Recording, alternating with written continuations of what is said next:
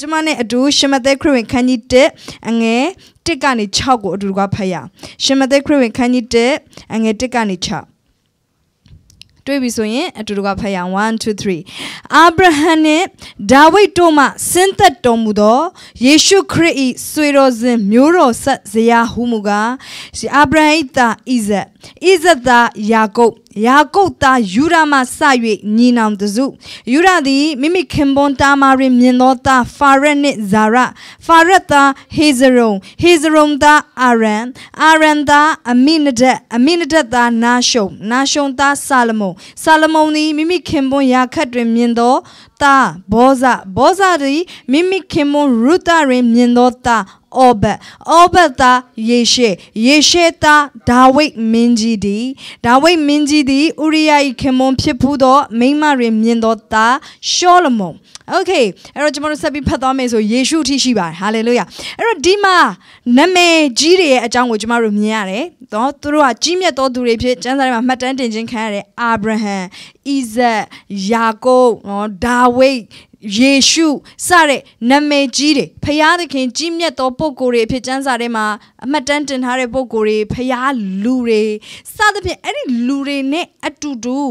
နေရာကျတဲ့လူတွေရှိပါတယ်အချို့ကတော့သူတို့ရဲ့မျိုးရိုးကြောင့်မို့လို့နာမည်ပါလာတဲ့သူတွေရှိတယ် နော်ကျေးဇူးတော်ကြောင့်မိဘတွေရဲ့နော်ကောင်းကြီးမင်္ဂလာခံစားတဲ့လူအချို့တွေရှိရဲ့ဒါပေမဲ့ကျွာကျွန်တော်မိဘကအဲ့လိုမျိုးမဟုတ်ဘူးနော်ကျွန်တော်မိဘကအရင်ဝိညာဉ်ရေးဆန်တဲ့လူမဟုတ်ဘူးဘိုးဘေးတွေရဲ့ကောင်းကြီးမင်္ဂလာကျွန်တော်တို့ကမရှိဘူးဘိုးဘေးတွေစီကပါလာတာဆိုလို့အကျွေးပဲဆက်เสียရှိရဲ့နော်သူတို့စီကအမွေကအကျွေးဆက်ဖို့အမွေပဲရှိရဲ့ကိုကပြန်ပြီးအကျွေးဆက်ရတာနော်အကျွေးရတာမဟုတ်အကျွေးပြန်ဆက်ရတာနော်အာဘိုးဘေးတွေစီကပါလာတာဆိုလို့အာချိန်ချင်းအမင်္ဂလာပဲရှိတယ်နော်ငွေကြေးခက်ခဲတာတို့ဟာအိမ်နောင်ဆက်များတာတို့နော်အာဘိုးဘေးတွေစီက နေရတဲ့အမွေနာမည်ကြီးတဲ့အထဲမှာပါဖို့နေနေသားသားနော်အကျွေးရှိလို့ပတ်ပြေးနေရတဲ့ဟာပဲရှိတယ်အချို့လည်းခံစားမခံစားဒါပေမဲ့ဆိုစိတ်တမကြပါနဲ့ဒီထဲမှာအမျိုးတော်လို့နာမည်ပါရတာမဟုတ်ဘဲနဲ့ဖရာသခင်ရဲ့သဘောကျနှစ်သက်တဲ့အတွက်ကြောင့်မို့လို့ဟုတ်တယ်တော်ဆက်ချင်းကြောင့်လည်းပါတယ်ဒါပေမဲ့ဖရာသခင်နှစ်သက်တဲ့အတွက်ကြောင့်မို့နာမည်ပါတဲ့သူတွေလည်းရှိပါတယ်အဲ့ဒီသူကတော့ဘယ်သူလဲဆိုလို့ရှိရင်ဥပမာရုသရုသဟာ ဒီထဲမှာမောဘအမျိုးသမီးတယောက်အနေနဲ့ဖြစ်ပေမဲ့လေဖရာသခင်ရဲ့ဒီနော်အကြီးမြတ်သောပုံကိုယ်ဒီစည်ရင်းထဲမှာပါဝင်ခွင့်ရတယ်အာမင်အဲ့ဒီပြည်ထဲမှာအခြားအခြားလူတွေရဲ့အမျိုးသမီးတွေနာမည်ဆိုမပါဘူးဒါပေမဲ့ထိုးကြတဲ့အမျိုးသမီးတွေဒီထဲမှာပါတဲ့သူတွေရှိရယ်ရာခတ် ရာခတ်ဆိုလို့ရှင်လေတကယ်တော့ तू ပြည့်တစားတူဖြစ်ခဲ့ပါတယ်ဒါပေမဲ့သူ့ကိုဖျားသခင်ကသူ့ရဲ့ပြောင်းလဲမှုသူ့ရဲ့ဖျားသခင်ရဲ့လူတွေနဲ့ဗရိညင်ဖွဲ့မှုသူ့ရဲ့ဆွေမျိုးတွေကို तू စွန့်ပြီးတော့ဖျားလူတွေနဲ့ဗရိညင်ဖွဲ့မှုကြောင့်မို့လို့ဒီစည်ရင်ထဲမှာပါတဲ့သူတွေလည်းရှိတယ်အာမင်အဲ့မိတ်ဆွေသင်ကိုဖျားသခင်ကကြီးမြတ်သောသူတွေရဲ့ဂျားထဲမှာနေရာချခြင်းတယ် သင်ရဲ့နာမည်ကိုကြီးမြတ်သောပုဂ္ဂိုလ်ရဲ့ဘေးမှာဖရာသခင်နေရာချခြင်းတယ်အဲ့တော့ပါဝင်ခွင့်သင်မှာရှိပါတယ်အာမင်သင်မှာအခွင့်အရေးမရှိတော့တာမဟုတ်ဘူးသင်မှာအခွင့်အရေးဖရာသခင်ပြင်ဆင်ပေးထားတယ်ပြောပါဦးကျွန်မနဲ့တူဝင်ခံပါအောင်ကြီးမြတ်တဲ့လူတွေစင်းရဲထဲမှာငါနာမည်ပါရမယ် ဟာလေလုယာဟာလေလုယာအာမင်စပြီးတော့အိမ်မက်မက်ပါမြင်အောင်ပါအဲ့တော့ကျမတို့နော်အချို့ကဘာမှာဆိုလို့ရှိရင်အချမ်းသာဆုံးလူစရင်အချို့အောင်မြင်ဆုံး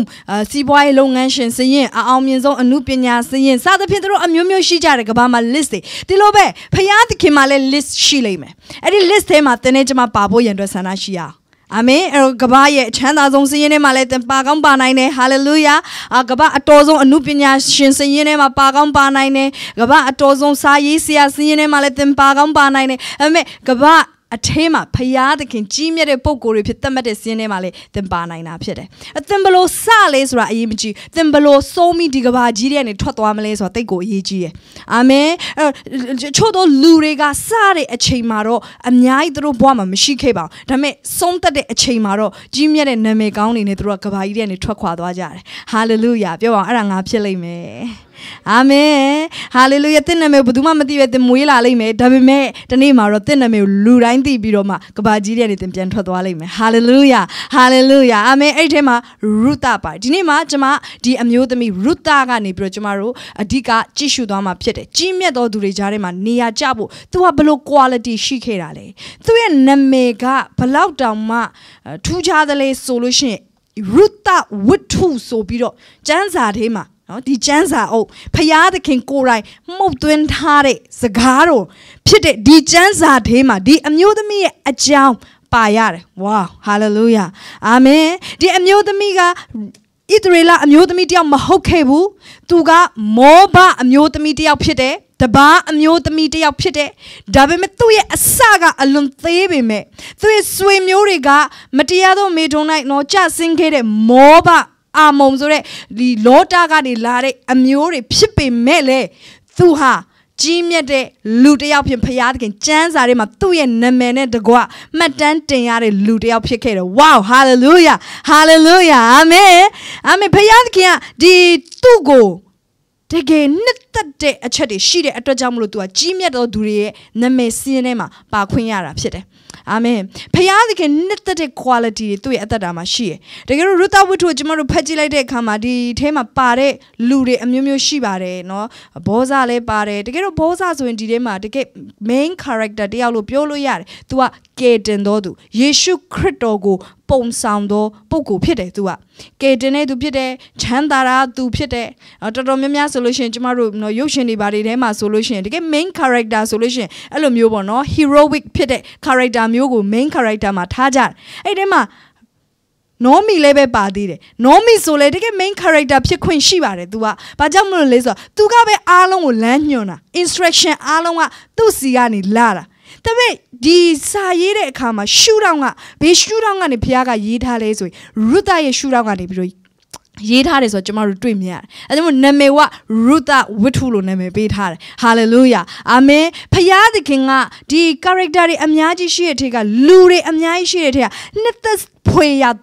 အသက်တာတွေအများကြီးလူတွေပိုင်ဆိုင်တဲ့အထဲကနေဘာကြောင့်သူ့ကို main character တယောက်အနေနဲ့ ထုတ်ပြီးတော့ပေါ်ပြတာလဲဆိုတော့သူ့ရဲ့အသက်တာမှာကျမတို့သင်ယူတဲ့အရာတွေအများကြီးရှိနေတဲ့အတွက်ကြောင့်သူ့မှာကောင်းသော quality တွေကျမတို့သူ့ရဲ့အသက်တာကနေသင်ယူခြင်းအပြင်ဘလို့ကြီးမြတ်သောသူတွေထဲမှာနေရာကျနိုင်မလဲဆိုတာသင်ယူဖို့ရန်အတွက်ဘုရားခင်ထားထားတာဖြစ်တယ်အာမင်အဲ့တော့ကျမတို့ဒီညမှာအတူတကွသင်ယူရအောင် how you can become great သင်ဘလို့မျိုးကြီးမြတ်သောသူဖြစ်နိုင်မလဲဆိုတာ Ruth ရဲ့အသက်တာကနေကျမတို့သင်ယူရအောင်အာမင်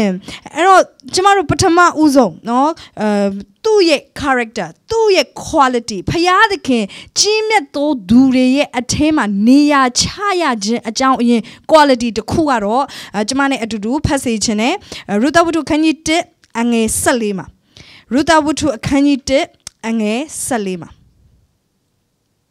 တွေးပြီးဆိုဖတ်ရအောင်1 2 3သူတို့သည်တဖန်အတန်ကိုလွှင့်၍ငိုကြွေးကြ၏ထိုအခါဩရပသည်ရောက်ခမကိုနမ်း၍မိမိအမျိုးသားထံသို့ပြန်သွား၏ရုသမူကရောက်ခမ၌မိဝဲစိကလျက်နေသေး၏အာမင်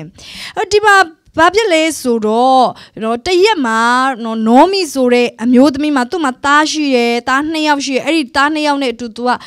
တကယ်တော့သူတို့ကဣသရေလလူမျိုးတွေဘက်လင်မြို့မှာနေတယ်ဒါပေမဲ့နော်အစာခေါင်းမမှုဖြစ်တဲ့အခါမှာအခြားမြို့မှာသွားပြီးတော့ခိုးလုံးနေမောဘပြည်မှာသွားပြီးခိုးလုံးဒါပေမဲ့သူတို့ရောက်တဲ့ပြည်မှာထပ်ပြီးတော့အစာခေါင်းမမှုဖြစ်တယ်သူ့ယောက်ျားဆုံးသွားတယ်အဲ့နောက်မှာသူ့ရဲ့သားနှစ်ယောက်ဆုံးသွားတဲ့အခါမှာနောမီကဘာပြောလဲဆိုသူ့ရဲ့ကြံတဲ့ ချွေးမနှစ်ယောက်ကိုပြောတယ်ငါမှသားတွေကုန်ပြီငါစီမှာမင်းတို့ကိုပေးစရာငါဘာမှမရှိတော့အဲ့တို့ကြောင့်မလို့မင်းတို့ဒီပြည်မှာနေခဲ့ကြပါ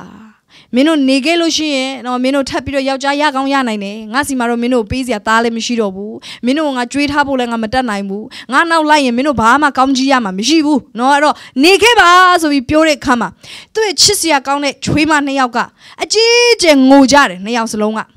နော်အဲ့တော့ဒီနေရာမှာဘာကိုမြင်ရတယ်လဲဆိုတော့တခါတည်းမှာဖရာသခင်ကကျမတို့ရဲ့ဘဝအသက်တာမှာလှုပ်ခါတတ်တယ်ဖယားသခင်ကျမတို့ကိုလှုပ်ခါတဲ့အခါမှာအချို့သောစစ်မှန်တဲ့အရာတွေထွက်ပေါ်လာဖို့ရန်အတွက်ဖြစ်တယ်အာမင်ပြောပါစစ်မှန်တဲ့အရာတွေထွက်ပေါ်လာဖို့ရန်အတွက် နိုမီကသူ့ရဲ့ချွေးမနှစ်ယောက်ကို तू ကလှုပ်ခါလိုက်တယ်သူတကယ်တော့ဒီချွေးမနှစ်ယောက်နဲ့ तू အိမ်မှာဆက်နေလဲရပါတယ်ဒါမှမဟုတ်ရင်လဲ तू သွားမဲ့ပြည်တိုင်းကိုဒီချွေးမနှစ်ယောက်ကို तू ခေါ်သွားရင်လဲရပါတယ် तू တော့အကူညီရသေးတယ်ဟုတ်လားမဟုတ်ဘူးလားနော်ဘာပဲဖြစ်ဖြစ်နော်မတိမတာလေးနဲ့ငါနှောက်လိုက်ခဲ့ကြလို့ခေါ်မယ်ဆိုရင်ပါလာနိုင်ပါတယ်ဒါပေမဲ့ तू ကအဲ့လိုမလုပ်ဘူးဘာလို့ခံလဲဆိုတော့နေခဲ့ပါဒီလိုမျိုးစကားကျမတို့ကြားဘူးရမလား အေလီယာအေလိရှေကိုပြောတဲ့စကားမျိုးမင်းဒီမှာလည်းနေခဲ့တော့အဲ့ဒါဘာလဲဆိုတော့တကယ်နေခဲ့စေခြင်းလို့တော့မဟုတ်အဲ့ဒါလှုပ်ခါတဲ့စကားဖြစ်တယ်တခါတည်းမှာနောမီလိုပဲအေလိယလိုပဲဖယားတကယ်လည်းကျမတို့ကိုလှုပ်ခါတဲ့အချိန်တွေရှိတယ်အဲ့ဒီအရာကဖယားတကယ်ကျမတို့ရဲ့အထဲတွေကစစ်မှန်တဲ့သဘောကဘာလဲဆိုတာထွက်ပေါ်လာအောင်လုပ်တာဖြစ်တယ် It is to expose you သင်ကိုပေါ်ပြခြင်းလို့သင်ရဲ့အထဲကအရာတွေထင်ရှားစွာထွက်လာစေခြင်းလို့ဖယားသခင်လှုပ်ခါတာဖြစ်တယ်ပြောပါဖယားလှုပ်ခါနေတာငါဘယ်သူလဲဆိုတာထွက်ပေါ်လာဖို့ရန်အတွက်ဖြစ်တယ် the real you သင်ရဲ့စစ်မှန်တဲ့သင်ဘယ်သူလဲဆိုတာထွက်ပေါ်လာဖို့ရန်အတွက်ဖြစ်တယ်ခါလေးမှာကျမတို့ကမသိဘူးငါဖះဆိုတအားချစ်တယ်လို့ထင်နေရပဲဒါပေမဲ့ပြဿနာတွေနဲ့ကြုံလိုက်တော့မှဖះကိုကိုဘယ်လောက်ထိချစ်လဲဆိုတာအစစ်အမှန်ထွက်ပေါ်လာတော့တယ် အဖေအဲဒီဒုက္ခတွေကြုံတဲ့ခါမှာဖះသခင်စွန့်ပြပြီးပြေးသလားဒါမှမဟုတ်ဖះသခင်တစ္ဆာရှိစွာနဲ့ဆက်ပြီးတော့စက္ကန့်နေသေးလားအာမင်အဲ့တော့ဒီမှာနောမီကသူ့ရဲ့ချွေးမနှစ်ယောက်ကိုသူကလှုပ်ခါတယ်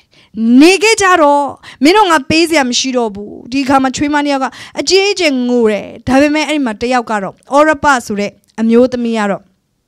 သူ့ယောက်ခမကိုနမ်းပြီးတော့ နေခဲ့တယ်သူ့ရဲ့အမျိုးသားတွေထံမောဘအမျိုးတွေထံသူပြန်သွားတယ်ကြည်ပါတခါတည်းမှာအချို့လူတွေဟာကျမတို့ရဲ့အနားမှာရှိနေတာသူတို့အရန်ရှိချင်လုံးလုံးမဟုတ်လှုပ်ခါတဲ့အခါမှာတော့သူတို့ဆက်ပြီးတော့မရှိတော့အံ့ဩစရာကောင်းတယ်အံ့ဩစရာကောင်းတယ်နန်းတော့နန်းသွားတယ်ဒါပေမဲ့စွန့်ခွာသွားတယ်အဲကျမတို့ကလေးမှာအချို့သောလူတွေဟာစကားပြောတွေသိကောင်းတယ်ကိုနဲ့ပေါင်းတဲ့အခါမှာတခါတည်းမှာအချို့သောလူတွေကကိုကိုချစ် တဲ့နှလုံးသားချစ်တဲ့ပုံစံအပေါ်ယံရှိတယ်ဒါပေမဲ့လောက်ခါမှုတွေအထဲမှာစစ်မှန်တဲ့သူဘယ်သူလဲဆိုတာပေါ်လာတယ်ဖယားတခင်လည်းကျမတို့ကတိတ်ချစ်တာပဲလို့ပြောတတ်ကြတယ်။အိုးကိုရောအတွက်ဆိုကျမဘာမဆိုလုပ်မယ်။အဲစကားတွေကတိတ်လာတယ်နော်။အစာရှောင်တာလည်းသူပဲ။စူတောင်းရင်ငိုတာလည်းသူပဲ။မျက်ရည်ကျတာမလေး။ तू မဖယားเจ้าမှာထိတ်ဆုံးကနော်။ဒါပေမဲ့လေတကယ်လောက်ခါလာတဲ့အခါမှာဖယားသခင်ကသင်မျက်ရည်ဘလောက်ကျလဲဆိုတာကို ကြည့်တာမဟုတ်။သင်ဘလောက်သစ္စာရှိအောင်မလဲဆိုတာကိုကြည့်နေတာဖြစ်တယ်။ Okay ကျွန်မပြောမယ် God is looking forward your loyalty သင်ရဲ့သစ္စာရှိခြင်းကိုဘုရားသခင်ကစောင့်ကြည့်နေတာဖြစ်တယ်သင်ဘလောက်မျက်ရည်ကြလဲသင်ဘလောက်ချစ်တယ်ဆိုတဲ့အကြောင်းပြောနိုင်လဲဆိုတဲ့အရာပဲဖခင်ကြည့်ရမဟုတ်အဲ့လိုပြောလို့သင်ခံစားချက်တွေနဲ့ဖခင်ကိုကိုးကွယ်တယ်နှလုံးသားအကျွမ်းမဲ့ကိုးကွယ်တာကောင်းပါတယ်ဒါပေမဲ့သစ္စာရှိခြင်းကို ဖခင်သခင်စောင့်ကြည့်နေတယ်ဆိုတာမမေ့ပါနဲ့အာမင်အဲ့တော့လောက်ခမှုတွေအထဲမှာဖခင်သခင်ကကျမတို့ရဲ့ quality heart quality ဖြစ်တဲ့နှလုံးသားရဲ့ quality တစ်ခုဖြစ်တဲ့သစ္စာရှိခြင်းကိုစောင့်ကြည့်နေရုသဟာဘာကြောင့်မလို့ကြီးမြတ်သောသူတွေကြားထဲမှာမှတ်တမ်းတင်တင်ခံရလဲဆိုသူဟာသစ္စာရှိတဲ့အမျိုးသမီးတစ်ယောက်ဖြစ်ခဲ့တဲ့အတွက်ကြောင့်ကျမတို့သူ့ရဲ့အကြောင်းကိုဒီရုသဝတ္ထုတအုပ်လုံးမှာဖတ်ကြည့်မယ်ဆိုရင်အဓိကသူ့ရဲ့ quality ကသစ္စာရှိခြင်းဖြစ်တယ် ရုသကအယံအယံကိုစုကျေးဇူးတွေထက်မြက်တယ်ဆိုတဲ့အကြောင်းလည်းမှတ်တမ်းမတင်ထားပါဘူးရုသဖခင်အကြောင်းအယံသိတဲ့ scholar တယောက်လည်းရှောလမုန်လိုလည်းမဟုတ်ခဲ့ပါဘူးဒါဝိဒ်လိုလည်းအမြဲတမ်းသချင်းတွေစုံနေခဲ့တဲ့အမျိုးသမီးတယောက်တော့မဟုတ်ခဲ့ပါဘူးဒါပေမဲ့သူ့မှာ quality တစ်ခုရှိတယ်သူ့မှာဖျားသခင်နှစ်သက်တဲ့အကြောင်းရင်းတစ်ခုရှိတယ်အဲ့ဒါဘာလဲဆိုတော့သူဟာတစ္ဆာရှိတယ်ဖျားသခင်ပေါ်မှာတစ္ဆာရှိတယ်ဖျားလူတွေအပေါ်မှာတစ္ဆာရှိတယ်သူရဲ့ပေါင်းတင်ခြင်းမှာ ဗရိညင်နဲ့သူဟာပေါင်းဖော်တဲ့လူတစ်ယောက်ဖြစ်တယ်ဆိုတာကျွန်တော်တို့တွေ့ရတယ်ဖယားတခင်အဲ့ဒီလူတွေကိုရှာနေတယ်ဖယားတခင်ရှာနေတာအပေါ်ယံပေါင်းတဲ့သူတွေမဟုတ်ဖယားတခင်ကအပေါ်ယံမိတ်ဆွေတွေရှာတာမဟုတ်ကျမတို့ကတော့မိတ်ဆွေဆိုလို့ရှိရင်နော်ကျမတို့ကိုယ့်အပေါ်မှာကောင်းတဲ့လူဆိုလို့ရှိရင်ကိုကကောင်းတယ်ဒါပေမဲ့ကိုယ့်အပေါ်မှာနော်တိတ်ပြီးတော့အကျိုးမရှိတဲ့လူဆိုရင်ကျမတို့မပေါင်းချင်တော့ အဲ့ဒါဘာလဲဆိုကျမတို့ရဲ့မိတ်ဆွေပေါင်းသမှုပုံစံဒါဖယားသခင်ကြတော့အဲ့လိုပေါင်းတာမဟုတ်ဖယားသခင်ကြတော့လူတွေနဲ့ပေါင်းတဲ့အခါမှာဖယားသခင်ဗရိညင်ဖွဲ့ပြီးတော့ပေါင်းတာ အပေါ်ယံပေါင်းချင်တာမဟုတ်ဘူးမေထုခေါ်ပြောပုံစံနဲ့ပေါင်းချင်တာမဟုတ်ဘူးဖယားသခင်ကလူတွေနဲ့ပေါင်းတဲ့အခါမှာဗရိညင်ဖွဲ့ပြီးတော့ပေါင်းချင်တဲ့ဖယားသခင်ဖြစ်တယ်အဲဒါမျိုး तू ကအာဗြဟံနဲ့ပေါင်းတဲ့အခါမှာဗရိညင်ဖွဲ့တယ်အာဗြဟံနဲ့ပေါင်းတဲ့အခါမှာအာဗြဟံ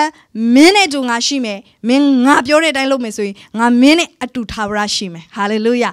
ဣဇနဲ့ ဗရိညင်ပြုတယ်ယာကုပ်နဲ့ဗရိညင်ပြုတယ်ဒါဝိဒ်နဲ့ဗရိညင်ပြုတယ်ဖယားသခင်ကယေရှုခရစ်အားဖြင့်လေကျမတို့နဲ့ဗရိညင်ပြုတဲ့ဖယားသခင်ဖြစ်တယ်ဖယားသခင်သူ့ရဲ့ပေါင်းသင်းဆက်ဆံရေးကိုအယံတန်ဖိုးထားတယ်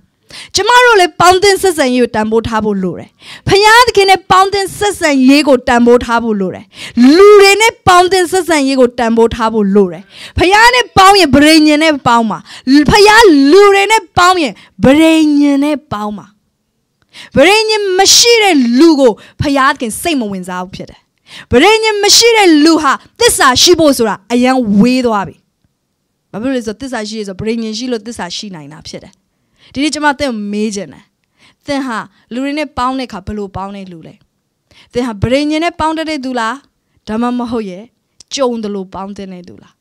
ဖယားသခင်လူမှန်တယ်ဆိုရင်တော့သဗရိညင်နဲ့ပေါင်းတတ်ဖို့လိုတယ် ဖယားနဲ့ပေါင်းတဲ့အခါဗရိညင်နဲ့ပေါင်းရမယ်ဖယားလူတွေနဲ့ပေါင်းတဲ့အခါဗရိညင်နဲ့ပေါင်းရမယ်အသင်းတော်နဲ့ပေါင်းတဲ့အခါဗရိညင်နဲ့ပေါင်းရမယ်ဒီခေတ်ကြီးကဗရိညင်သိမကြိုက်တော့တဲ့ခေတ်ကြီးဖြစ်တယ်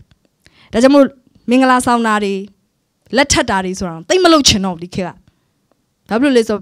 ဗရိညင်ပြုတ်ရတာ哦လူရှိဖျားရှိမှာတက်သေးတီးပြီးတော့เนาะကောင်းသည်ဖြစ်စေဆိုးသည်ဖြစ်စေเนาะကျွန်တော်ကျမပေါင်းဖော်ပါမယ်ဆိုပြီးတော့ဖျားရှိမှာဗရိညင်ဖွဲ့ရတယ်နှစ်ဦး အဲ့ဒါကိုမလုပ်ချင်တော့လူတွေကလေဒီခေတ်ကြီးမှာဆိုအဲ့ဘာပဲလုပ်ကြတော့လေဆို living together နော်ငါတို့နှစ်ယောက်အချင်းချင်းအဆင်ပြေအတူနေမယ်မင်းကငါမကြိုက်တော့ဘူးမင်းလည်းငါ့ကိုမကြိုက်တော့ဘူးခွဲလိုက်ကြမယ်ဘာလဲဗရိညင်မရှိဘူးအဲ့ဒီဘဝမှာပဲလူတွေကအခုပို့ပြီးတော့ပြောလာအရန်ကို dangerous ဖြစ်တယ်နော်ညီကိုမာမတို့ဒီအရာကအရန်ကိုအန္တရာယ်များတဲ့ပုံစံဖြစ်တယ်ဖခင်ကနှစ်သက်တဲ့ပေါင်းသစ်ဆက်ဆံရေးပုံစံမျိုးမဟုတ် အာမင်အဲ့ဟုတ်ပါတယ်လူတိုင်းနဲ့တော့သင်ကိုဗရိညင်ဖွဲ့ဖို့ရန်အတွက်ပြောတာမဟုတ်အကျို့လူတွေသင်ဗရိညင်ဖွဲ့ပြီးပေါင်းရမယ့်သူတွေမဟုတ်ဘူးဒါပေမဲ့ဖခင်တကယ်သင်ကိုတကယ်ပေါင်းခိုင်းတဲ့သူတွေရှိရဲ့အဲ့ဒီသူတွေနဲ့တော့သင်ဟာဗရိညင် relationship ထဲမှာသွားရမယ်အာမင်အဲ့ဒီလူနဲ့သင်ပေါင်းတဲ့အခါမှာတော့ဖယားသခင်ကိုယ်တိုင်သင်နဲ့သူနဲ့ကြားထဲမှာတက်သေးရှိပြီးတော့ပေါင်းဖော်တဲ့သူတွေဖြစ်ရမယ်အာမင်အဲ့သင်အိမ်ထောင်ဘက်ဖြစ်ကောင်းဖြစ်မယ် သင်အသင်းတော်ဖြစ်ကောင်းဖြစ်မယ်သင်ဝိညာဉ်ကောင်းဆောင်ဖြစ်ကောင်းဖြစ်မယ်ဖယားသခင်ကိုယ်တိုင်ဖြစ်မယ်အဲ့ဒီ relationship တွေကတော့ဗရိညင်နဲ့ပေါင်းဖော်တဲ့ relationship တွေဖြစ်ရမယ် hallelujah amen အဲ့တော့ဒီမှာရုဒဟာဗရိညင်ဖွဲ့တတ်တဲ့အမျိုးသမီးတယောက်ဖြစ်တယ်ဆိုတော့ကျမတို့တွေ့ရဗမာမြင်ရလဲဆိုရင်ကျမနဲ့အတူအခန်းကြီး1အငယ်16မှာကျမနဲ့အတူဖတ်ရအောင်အခန်းကြီး1အငယ်16 1 2 3 ရုဒက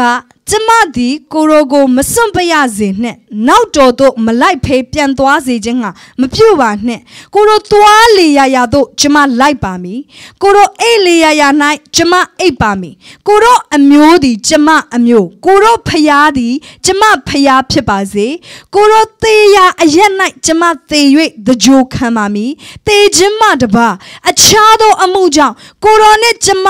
ကွာလင်ဖျားသခင်သည်ကျမ၌ထိုမြမကပြုတော်မူပါစေတော်ဟုဆိုပြန်၏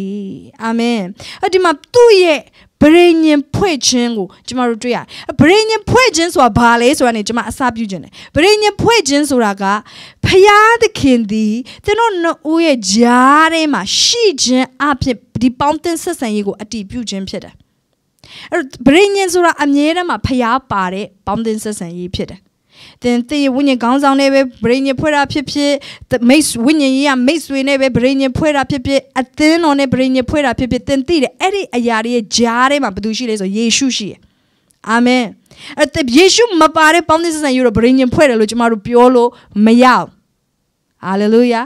ဖခင်နဲ့သင်နဲ့ဗရိညင်ဖွဲ့တာတော့ဂျားမှာယေရှုပါတယ်ယေရှုမပါဘဲနဲ့ဖခင်ကကျမတို့နဲ့ဗရိညင်ဖွဲ့လို့မရဘူးဘာလို့လဲဆိုကျမတို့ကဖောက်ပြန်တတ်တယ် ကျမတို့ကအားနေတတ်တယ်ကျမတို့ဖခင်ဒီနေ့ချစ်တယ်ပြောပြီးနောက်နေ့ကျရင်လည်းအဲနော်အပြစ်တွေလုံမိတတ်တယ်ခြေချော်တတ်တဲ့သဘောတွေရှိရကျမတို့ကအားနေတတ်တဲ့အတွက်ဖခင်ကကျမတို့နဲ့ဗရိညင်ဖွဲ့လို့ဂျားထဲမှာဘယ်သူရှိလဲဆိုယေရှုရှိရယေရှုကဖြောင့်မတ်တယ်ယေရှုကစင်ကြယ်ဒါကြောင့်မလို့ယေရှုခရစ်တော်အဖြစ်ကျမတို့နဲ့ဖခင်ဗရိညင်ဖွဲ့တယ် ဟာလေလုယာဟာလေလုယာဘုရားခင်အရင် smart ဖြစ်တယ်ဟာလေလုယာအာမင်ဟာလေလုယာအဲ့တော့ဒါပေမဲ့ကျမတို့ဒီလိုပဲလူလူချင်းပေါင်းတင်ဆက်ဆံရေးမှာလေကျမတို့ဗြိဉ္ဉ်ဖွဲ့တယ်ဆိုရင်ခါမှာဂျားထဲမှာယေရှုရှိတယ်ဖျားပါရမယ်ကျမတို့ရဲ့ပေါင်းတင်ဆက်ဆံရေးအဲ့တော့ယူဒကနောမီနဲ့ဗြိဉ္ဉ်ပေါင်းတင်ဆက်ဆံရေးဖြစ်တယ်လို့ဘာလို့ကျမပြောလဲဆိုတော့သူ့ရဲ့ပေါင်းတင်ဆက်ဆံရေးအလေဘဟိုမန်တိုင်က ဖယားသခင်ဖြစ်တယ်။ဘာကြောင့်သူရုတောက်တစ္ဆာရှိမယ်လို့ပြောရလဲ။အချို့လူတွေကနော်အသက်လွတ်တစ္ဆာရှိပါမယ်။ကိုမင်းပေါ်မှာတစ္ဆာရှိပါမယ်။အရန်ပြောတယ်။ဒါပေမဲ့ तू ဖယားကိုမသိဘူးဆိုတော့အဲ့ဒါ brain ညမဟုတ်။ Okay မင်္ဂလေးတွေယောက်ျားလေးတွေနော်အာကျမရှင့်ပေါ်မှာအယံသစ္စာရှိပါမယ်ဒါပေမဲ့သူယေရှုကိုမသိဘူးယေရှုကသင်တို့ရဲ့နှစ်ဦးကြားထဲမှာမရှိဘူးဆိုရင်အဲ့ဒါဗြိဉ္ဉ်မဟုတ်ဘူးယုံလို့မရအောင်နာမည်ကမယုံကြည်သူပါဆိုနေမှာသွားယုံနေဆိုတော့သင်လောက်မိုက်တာသင်မဲ နော်ရှိတော့တယ်နော်နာမည်ကမယုံကြည်သူပါဆိုမယုံရတဲ့သူပါဆိုနေမှာသွားပြီးတော့ယုံနေဆိုရင်တော့ကိုပဲမိုက်မဲရကြားလိမ့်မယ်နော်အဲ့တော့ ပေါင်းတဲ့စစ်စံရဲ့အလဲမှာယေရှုရှိဖို့လိုတယ်။သင်ကလည်းဖယားကိုသိရမယ်။ဖယားမျက်နှာကိုထောက်ရမယ်။ तू ကလည်းဖယားကိုသိတယ်။ဖယားမျက်နှာကိုထောက်တယ်။ငါတို့ရဲ့ပေါင်းတဲ့ခြင်းကဖယားဘုံထင်ရှားဖို့ဖြစ်တယ်။ငါတို့ရဲ့မိတ်ဆွေဖြစ်ခြင်းကဖယားသခင်နိုင်ငံတော်ကျေပြတ်မှုဖြစ်တယ်။ငါတို့နှစ်ဦးရဲ့အိမ်ထောင်ပြုခြင်းကဖယားဘုံတော်ထင်ရှားဖို့ဖြစ်တယ်။ဖယားသခင်ကိုငါတို့အမြဲတမ်း glorify လုပ်မယ်။အမြဲတမ်းဖယားသခင်ရဲ့နာမကိုငါတို့ထောက်မယ်။ဆိုတဲ့ပေါင်းတဲ့စစ်စံရတာဗြိဉ္ဉ်ဖွဲ့ခြင်းဖြစ်တယ်။ ဒီမှာရုသလိုမျိုးပဲသူဟာနိုမီနဲ့သူနဲ့ပေါင်းခြင်းကဖျားအတွက်ဖြစ်တယ်ဖျားကိုကျွန်မကိုးကွယ်ခြင်းတယ်ဖျားနောက်ကိုကျွန်မလိုက်ခြင်းတယ်ဖျားဘုံတော်ကိုကျွန်မတည်ဆောင်ခြင်းတယ်ဆိုတဲ့နှလုံးသားနဲ့သူကနိုမီနဲ့ပေါင်းဖော်တာဖြစ်တယ်အဲဒါကျွန်မတို့ရဲ့ဘဝရဲ့ခန္ဓာတိုင်းရဲ့ဘဝယေရှုဖြစ်တယ်နော် ကျမတို့ဘဝရဲ့အရာရာတိုင်းမှာယေရှုက center of it all အရာအားလုံးရဲ့ဘဝကသူဖြစ်ဖို့ရန်အတွက်လိုတယ်။ဒါမှပဲကျမတို့ဘဝဟာတော့တကယ်ဖခင်အလိုရှိတဲ့ဗြိဉ္ဉ်ဖွဲ့တဲ့အသက်တာနဲ့သွားလာတဲ့သူတွေဖြစ်မှာ။အချို့သောလူတွေကဗြိဉ္ဉ်ဖွဲ့တော့ဖွဲ့တယ်။ဒါပေမဲ့ဖခင်မပါတဲ့ဗြိဉ္ဉ်နဲ့ဒီလူမျိုးပေါ်မှာကျွန်တော်သစ္စာရှိပါမယ်။မိတ်ဆွေသင်သစ္စာအရင်ရှိချင်တာတော့ကောင်းတယ်။ဒါပေမဲ့ယေရှုမပါ။ယေရှုမပါ။ အချို့တွေကကျွန်တော်တို့နော်ဘေးအပေါ်မှာတစ္ဆာရှိပါမယ်ဘေးအရာမှာကျွန်တော်တို့လူမျိုးရေးတို့ဘာသာရေးတို့မှာကျွန်တော်တို့တွားပြီးတော့ဗြိညင်တွေဖွဲ့တယ်ဒါပေမဲ့မိတ်ဆွေအဲ့ဒါဗြိညင်မဟုတ်တစ္ဆာခံတာတော့သင်ဖြစ်ကောင်းဖြစ်လိမ့်မယ်နော်ချို့အဲ့ဒီစကားလုံးတော့သုံးတယ်ဟလားတစ္ဆာခံယူတယ်ဟလားဒါပေမဲ့အဲ့ဒါ covenant မဟုတ်သေးဘူးဆိုတော့နားလေစေချင်တယ် covenant နဲ့မတူဘူးဗြိညင်ကတော့ဖျားပါတဲ့ပေါင်းတင်ဆက်ဆံရေးဖြစ်တယ် နားလည်မလားမသိဘူးညီကိုမောင်မတို့အာမင်ဒါဟာဗြိညင်အဲ့တော့မိတ်ဆွေတန်ဘဝမှာသင်ဘသူနဲ့ဗြိညင်ဖွဲ့တယ်လေဆိုတာအရေးကြီးဘသူနဲ့သင်ပေါင်းတယ်လေဆိုတာအရေးကြီးဘာဖြစ်လို့လဲဆိုတော့သင်ဗြိညင်ဖွဲ့တဲ့သူလိုပဲသင်ကဖြစ်လာလိမ့်မယ်ကျွန်တော်တို့အပင်တပင်စိုက်တဲ့အခါမှာအပင်မျိုးစိချတွေမြေထဲမှာအဲ့ဒီအပင်ကကြီးထွားလာဖို့ဆိုတာပတ်ဝန်းကျင်နဲ့အရန်ဆိုင်လာ ဥမာလိမ္မော်သီးလိုမျိုးမျိုးစေ့မျိုးอ่ะကျမတို့ရန်ကုန်တို့လိုဒီလိုအပူပိုင်းဒေသတွေမှာကျမတို့စိုက်လို့မရဘာကြောင့်လဲဆိုတော့ဒီပဝင်းကျင်ကသူ့ကိုအတီးတီးဖို့ရန်အတွက်မလုတ်ပေးနိုင်ဒါကြောင့်ဗမာသက်ဆိုင်ရတဲ့ဆိုအေးတဲ့ဒေတာတွေနော်ရှမ်းပြည်တို့လိုဟလာစတဲ့ဒီအေးပိုင်းဒေတာတွေမှာသူတို့စိုက်ပျိုးရတယ်အချို့တော့အပင်တွေဆိုလို့ရှိရင်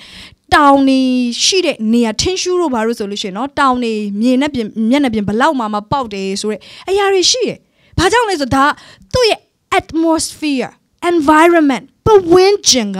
သူ့ကိုကြီးထွားစေမှုအတွက်အများကြီးတက်ရောက်မှုရှိဆိုတော့ကျွန်တော်တို့တွေ့ရတယ်။အဲ့တော့ကျွန်မကတနေ့မှလိန်မိုတီကိုကျွန်မ channel မှာယူလာပြီးတော့ site site ပြင်မဲ့အပင်အသိမသိဘူးမကြီးလာနိုင်ဘူးဖြစ်နေတယ်ဆိုရင်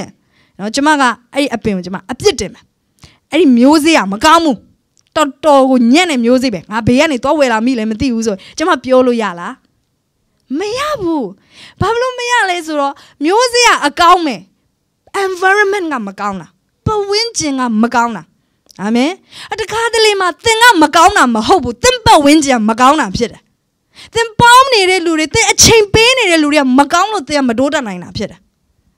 အဲ့လိုပြောလို့လူတိုင်းကိုအပြစ်လိုက်ဖို့ဖို့ရတော့ကျွန်မပြောနေတာမဟုတ် သင်ပတ်ဝန်းကျင်မကောင်းတဲ့နေရာမှာနေနေပြီးတော့တိုးတက်ဖို့ရတဲ့သင်ဟာငါဘာမှနေလဲမသိဘူးငါတော်တော်ညံ့နေလူပဲငါအသုံးမကျတဲ့လူပဲသင်တင်တယ်တခါလေးမှတော့ကိုကိုတိုင်းကမတိုးတက်ချင်တာလည်းဖြစ်ကောင်းဖြစ်မှာပေါ့နော်ဒါပေမဲ့ချို့အချိန်တွေမှာသင်တိုးတက်နိုင်တယ်တိုးတက်ချင်တယ်သင်ကဖျားအတွက်လှုပ်ချင်တယ်ဒါပေမဲ့သင်ဘေးကလူတွေကဖျားကိုမဆန်ကဖျားတဲ့ရုပ်ရှင်ကြည့်ရပို့ပြီးတော့အမြဲတမ်းမှာတက်ကြွနေတယ် ဖခင်တခင်ထက်ဖခင်အကြောင်းပြောဖို့ထက်အတင်းပြောတာဒီမှာအမြဲတမ်းတက်ကြွနေတယ်။သင်ပေါင်းတဲ့တငယ်ချင်းတွေကဖခင်အတွက်တောက်လောင်ရမယ်ဆိုအခြားနေရာတွေမှာတောက်လောင်နေဆိုသင်ဘလို့မှအဲ့ဒီ environment ထဲမှာသင်ကြီးထွားဖို့ရတော့မဖြစ်နိုင်။အဲ့ဒီမှာပေါင်းတဲ့ဆက်ဆံရေးမှာအရေးကြီးတယ်။သင်ဘယ်သူနဲ့ဗြိဉ္ဉ်ဖွဲ့မှာလဲ။သင်ဗြိဉ္ဉ်ဖွဲ့တဲ့လူတွေကတကယ်ဖခင်ကိုချစ်တဲ့လူတွေဖြစ်မှပဲသင်လည်းဖခင်ကိုချစ်တဲ့သူဖြစ်လာလိမ့်မယ်။ အာမင်အဲ့တော့ကျမတို့နော်ဒီမှာဘာကြောင့်မလို့ရုသကိုဖခင်ကသဘောကျပြီးတော့ဖခင်တကယ်ကြီးမြတ်တဲ့ပုံကိုယ်တွေနာမည်စင်းထဲမှာထည့်ရလဲနေဟမီတို့လိုဟောတခါတည်းနော်မြို့ရိုးတွေကိုတိဆောက်တဲ့ရဲရင်တဲ့ပုံကိုတယောက်လေသူမဟုတ်ခဲ့ပါဘူးနိုင်ငံကြီးတစ်ခုလုံးကိုတီထောင်ခဲ့တဲ့ main အမျိုးသမီးတယောက်လည်းမဟုတ်ခဲ့ပါဘူး။တမန်ဒီ quality တွေတော့မရှိဘူး။အေးတထားလိုမျိုးလူမျိုးတခါတည်းလူမျိုးလုံးကျုပ်ကိုကဲနှုတ်ခဲ့တဲ့ quality လည်းသူ့မှာမရှိပါဘူး။ အဲ့လိုယုံကြည်ခြင်းတွေသူ့မှာရှိခဲ့လို့မဟုတ်ဒါပေမဲ့သူ့မှာရှိရဲ့ quality ဖရားခင်အလွန်နဲ့တဲ့ quality ကတော့ဘာလဲဆိုတော့သူဟာတစ္ဆာရှိရယ်ဘယ်သူအပေါ်မှာတစ္ဆာရှိလဲဆိုဖယားလူတွေအပေါ်မှာသူကတစ္ဆာရှိရယ်ဖယားမျက်နှာကိုသူထောက်တယ်ဖယားခင်နာကိုသူလိုက်ချင်တယ်ဖယားနဲ့သူကြီးထွားချင်တယ်အဲ့ဒီနှလုံးသားကိုဖယားကတကယ်သဘောကျတယ်တခါလေမှာအချုပ် quality တွေတက်မှာမရှိတာဖြစ်ကောင်းဖြစ်လိမ့်မယ် အာကျွန်ကျမအဲ့လိုကြီးနိုင်ငံကြီးတစ်ခုလုံးကိုကျမပြောင်းလဲအောင်လုပ်နိုင်တဲ့အာတော့ယုံကြည်ခြင်းမျိုးတော့ကျမမှာလောလောဆယ်မရှိသေးဘူးဒါပေမဲ့ကိစ္စမရှိဘူးသင်ဖျားကိုချစ်တယ်သင်ဖျားတကယ်နောက်ကိုလုံးလုံးလိုက်ချင်တယ်ဖျားလူတွေနဲ့သင်ပေါင်းဖော်ချင်တယ်ဖျားရဲ့အထဲမှာသင်တကယ်ကြီးထွားခြင်းနဲ့နှလုံးသားရှိရဲ့အဲ့ဒီနေရာကနေသင်စပါသင်ကိုကြီးမြတ်တဲ့သူဖျားခင်ဖြစ်စေလိမ့်မယ်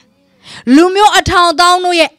မိခင်ကြီးဖြစ်ရတဲ့ခွင့်ဖျားခင်တင်ပေးလိမ့်မယ်။သင်ထဲကနေနမိတ်လက္ခဏာလုပ်တဲ့ဒါဝိဒ်တို့လိုပုံကိုယ်ပေါ်လာရတဲ့ခွင့်ဖျားခင်ပေးလိမ့်မယ်။ You should do great things because you choose God above everything ဖယားသခင်ကိုအရာအားလုံးရဲ့အထက်မှာသင်ရွေးချယ်တဲ့အတွက်သင်ပေါင်းသင်ဆက်ဆံရေးမှာဖယားသခင်ကိုသင်ဦးစားပေးပြီးရွေးချယ်တဲ့အတွက်ကြောင့်မို့လို့ ဖယားခင်တန်ကိုချီးမြှောက်လိမ့်မယ်ဒါသူ့ရဲ့အဓိက quality ဖြစ်တယ်ရူတာဝတ္ထုကအတူတူလေးပါဖတ်ကြည့်ပါအစနေအဆုံးပြန်ဖတ်ကြည့်ပါဘယ်လိုမျိုး quality ရူတာမှာရှိလို့လဲအဓိက quality ကတော့ဖယားသခင်ကိုဦးစားပေးပြီးတော့ပေါင်းတင်ဆက်ဆံတဲ့အတွက်ကြောင့်သစ္စာရှိတဲ့ပေါင်းတင်ဆက်ဆံခြင်းရှိတဲ့အတွက်ကြောင့်ဖြစ်တယ်သူဒီဒီနောမီကိုမထားခဲ့နောမီကိုထားပြီးတော့သူ ဆွေမျိုးတွေရှိတဲ့နေရာကို तू မသွားခဲ့တကယ်တော့ဆွေမျိုးဆိုတာကကျမတို့အားလုံးအတွက်ကပြောရမယ်ဆိုလို့ရှိရင်ကျမတို့ရဲ့ comfortable ဖြစ်တဲ့နေရာဖြစ်တယ်အခြားလူတွေနဲ့လူမျိုးအသက်တွေနဲ့သွားပြီးသူပေါင်းဖော်ရမယ်အစားသူ့အိမ်ကိုသူပြန်မယ်ဆိုရင်သူ့အမေရှိမယ်သူ့ညီညီကိုမောင်နှမတွေရှိနိုင်တယ်သူ့အတော်တွေဦးလေးတွေကျမတို့ဆိုရင်သူတို့နဲ့ပေါင်းဖော်ရတာစကားပြောရတာအရင်လွယ်တယ်လေဘယ်နှစ်ယောက်ကအမျိုးကိုချစ်လဲ မုန်းတဲ့လူတော့တရားမှမရှိဘူးဆိုတော့ကျမယုံတယ်။ Okay မိသားစုဝင်တွေကိုချစ်ကြတဲ့လူတွေကြီးပဲ။ဒါပေမဲ့ तू အနေနဲ့ဒီအရာတွေကို तू ထားခဲ့ရတယ်ဆိုတာက तू ဖះနောက်ကိုလိုက်ချင်တဲ့အတွက်ကြောင့်ဖြစ်တယ်။နောက်တစ်ခုကျမဒီမှာသင်ကိုသင်စေခြင်းတဲ့အရာရှိရယ်။အဲ့ဒါဘာလဲဆိုရင်မှတ်ထားပါမှတ်ထားပါ။သင်ပြိညာဖွဲ့မယ်ဆိုရင်အမြဲတမ်းထားခဲ့ရတဲ့အရာတွေရှိလို့ရှိရယ်။ဘာကြောင့်မလို့ဆိုတော့သင်တစ်ခုပြိညာဖွဲ့ထားပြီးနောက်တစ်ခုမှထပ်ပြီးပြိညာမဖွဲ့နိုင်ဘူးဖြစ်တယ်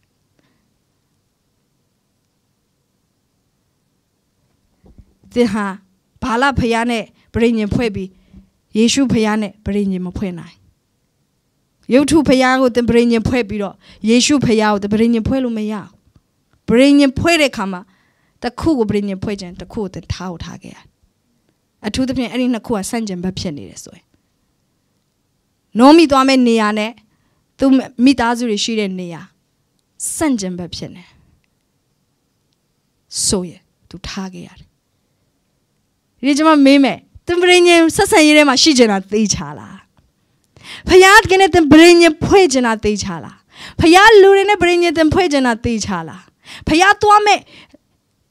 ဖယားတကယ်သင်ကိုပို့ဆောင်ထားတဲ့အသင်းတော်နဲ့သင်ပရိညင်ဖွဲ့ကျင်တာသိချလားသိကြတယ်ဆိုရင်အဲ့ဒါနဲ့စန့်ကျင်ဘက်ဖြစ်တဲ့အရာတွေနဲ့သင်ပရိညင်ဖြတ်ရမယ်အာဗြဟံကဖယားတကယ်နဲ့ပရိညင်ဖွဲ့ခြင်းတဲ့အခါမှာဖယားတကယ်သူ့ကို သင်နေရင်ပြည်တဲ့ကနေထွက်လာလို့ပြောတယ်။ဘာဖြစ်လို့ဘုရားခင်ထွက်လာခိုင်းတာလဲ။အဲ့ဒီမှာပဲသူနဲ့ပြည်ရင်ဖွဲ့လို့မရလား။အဲ့မှာပဲသူ့ကိုကြီးမြတ်အောင်လုပ်ပေးလို့မရဘူးလား။မိတ်ဆွေကျွန်မပြောမယ်မရဘူးဖြစ်တယ်။မရဘူး။ဘာကြောင့်လဲဆိုတော့အဲ့ဒီနေရာကပတ်ဝန်းကျင်ကျွန်မခုနပြောသလို environment ကသူ့ကိုကြီးထွားဖို့သူ့ရဲ့ယုံကြည်ခြင်းကြီးထွားဖို့ရတော့မဖြစ်စေနိုင်။အဲ့နေရာကလူတွေကဖះကိုမချစ်ဘူး။အဲ့နေရာကလူတွေကဖះသခင်ကို ပုန်ကန်တယ်ဖျားစကားကိုတရားရာခိုင်နှုန်းအပြည့်ဝနားမထောင်နိုင်90ရာခိုင်နှုန်းနားထောင်ကောင်းနားထောင်မယ်80ရာခိုင်နှုန်းနားထောင်ကောင်းနားထောင်မယ်ဖះပြောလိုက်80ရာခိုင်နှုန်းလောက်ကောင်းလုပ်မယ်90ရာဒါပေမဲ့100ရာခိုင်နှုန်းနားမထောင်နိုင်အဲ့ဒါကြောင့်အာဗြဟံကအမှနေရင်100%ဖះစကားကိုနားထောင်တဲ့ယုံကြည်ခြင်းဖခင်ဖြစ်လာမှာမဟုတ်ဘူးဆိုတော့ဖះခင်သိတယ်ဒါကြောင့်မို့ထထားခဲ့ပါလို့ဘုရားပြောရတယ် အချို့ဗရိညင်တွေကိုဖျက်ရသင်ဖျားနဲ့ဗရိညင်ဖွဲ့ခြင်းနဲ့ဆိုအချို့ဗရိညင်သင်ဖျက်ရဟာလေလုယာသင်သင်သင်သင်တဲ့ဆိုပါစို့မင်္ဂလာဆောင်မယ်လက်ထပ်မယ်ဆိုရင်ဆိုပါစို့သင်တဲ့အမျိုးသမီးတယောက်ဖြစ်တယ်ဒီအမျိုးသားနဲ့သင်လက်ထပ်မယ်ဆိုရင်သင်ဗရိညင်ဖွဲ့ရတော့မယ်သင်အခြားယောက်ျားလည်းရှိနေပြီးတော့ဒီမှာဗရိညင်ထပ်ဖွဲ့လို့ရလားမရဘူးအဲ့ဒါတော့ရှင်းရှင်းလင်းလင်းသိတယ်နော်ဟာအဲ့ဒါကြတော့တော်တယ် အဲ့လိုလာလို့ငါ့ကိုလာလို့လို့ရတော့နော်ဟွန်းလက်တီးပဲရမယ်လက်ဝါးပဲရမယ်ဆိုတာတွေပဲအားလုံးကအဲ့လိုမျိုးလုပ်လို့မရဆိုသိဒါပေမဲ့အချို့လူတွေအသက်တာမှာယေရှုနဲ့လည်းပြည်ညင်ဖွဲခြင်းတယ်ဟိုလူနဲ့လည်းပြည်ညင်ဖွဲခြင်းတယ်ဒါပေမဲ့အဲ့ဒီနှစ်ခုကစန့်ကျင်ဘက်ဖြစ်နေဖះတန်ရှင်းတယ်သူကမတန်ရှင်းဖះသခင်သူ့စကားနားထောင်စေခြင်းနဲ့သူကလည်းသူ့စကားနားထောင်စေခြင်းဟော တင်ဘေးပရိညုံတင်ဖွဲ့မှာနှစ်ခုစလုံးဖွဲ့လို့ရမလားပရိညံရမလားမရဘူးဒါကြောင့်မို့ရူတာကိုနောမီယာပြောနေခဲ့ပါတင်ဒီမှာနေနေမနေတော့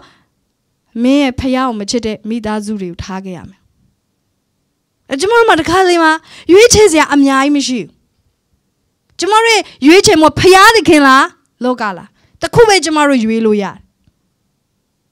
အသင်းတော်နဲ့တပရင်းညဖွဲတဲ့ခါမှာလည်းဒီလိုပဲ အချို့တွေဘာသာရေးအသင်းတော်နဲ့လည်းပရိညင်ဖွဲ့ခြင်းတယ်ဝိညာဉ်တော်စင်တဲ့အသင်းတော်နဲ့လည်းပရိညင်ဖွဲ့ခြင်းနှစ်ခုဆန့်ကျင်ဘက်ဖြစ်နေဘာသာရေးကအမြဲတမ်းဝိညာဉ်တော်တိုက်ခိုက်တယ်မှတ်ထားပါဘာသာရေး spirit ကအမြဲတမ်းဝိညာဉ်တော်တိုက်ခိုက်တယ်အဲ့နှစ်ခုနဲ့သင်ဘယ်လိုလုပ်ပရိညင်ဖွဲ့လို့ရမှာလဲပရိညင်တစ်ခုကိုသင်ဖြတ်ကိုဖြတ်အဲ့ဒီပရိညင်သင်မဖြတ်ဘူးဆိုဒီပရိညင်ထဲမှာသင်လာလို့မရဒါကြောင့်မင်္ဂလာဆောင်တာနဲ့ပတ်သက်ပြီးတော့ယေရှုကပြောတယ် မတူတဲ့တဘိုးကိုမထမ်းနဲ့။ဘာကြောင့် an equal yoke လို့ပြောတာလဲဆိုတော့အဲ့ဒီလူကတင်က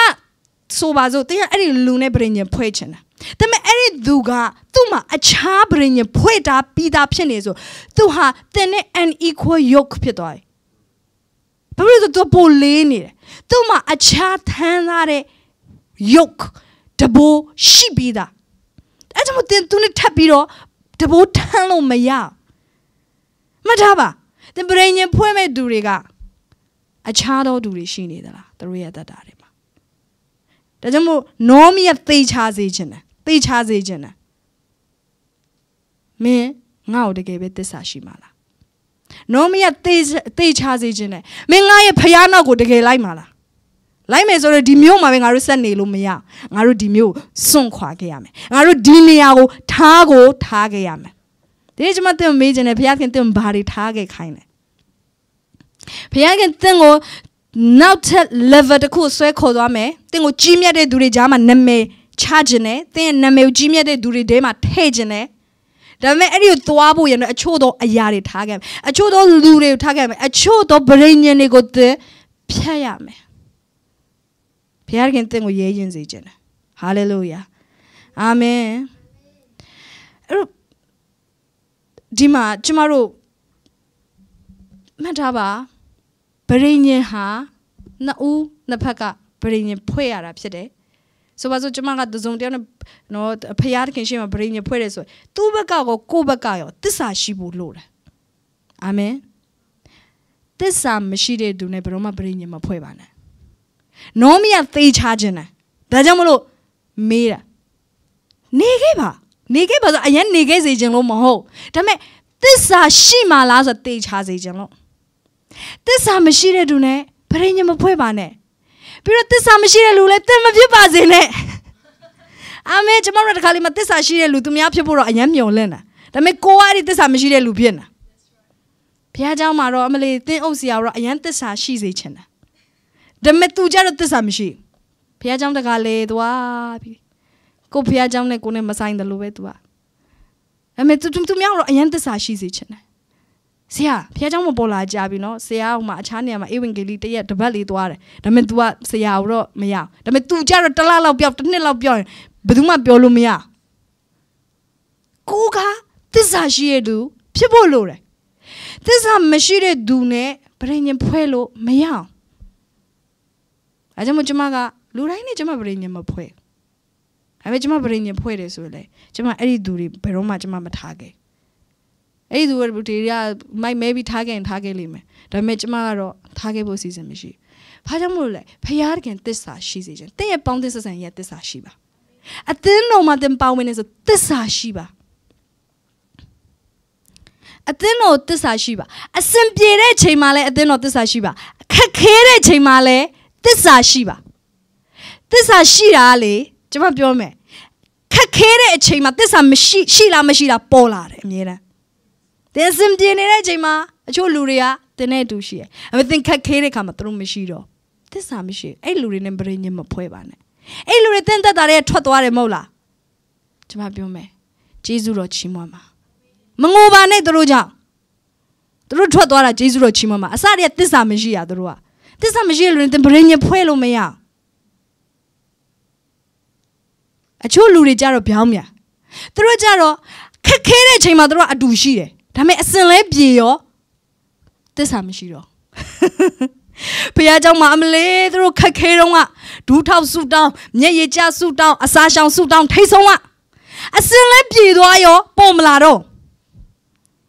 ကောင်းကြီးတွေခံစားရတော့ဖះမေ့သွားအသင်းတော်မေ့သွားကိုယ်မေ့သွား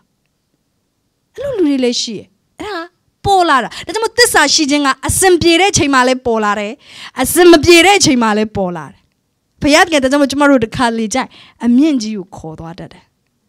တခါလေမှကျမတို့အဲ့မှာအကြာကြီးမထားအောင်ခဏလေးပဲထားရဘာဖြစ်လို့လဲဆိုတော့ကျမတို့ကြာကြာထားလို့ရှိရင်ကျမတို့ရဲ့အသက်တာမနေနိုင်ဘူးအဲ့ဒီမှာကြာကြာ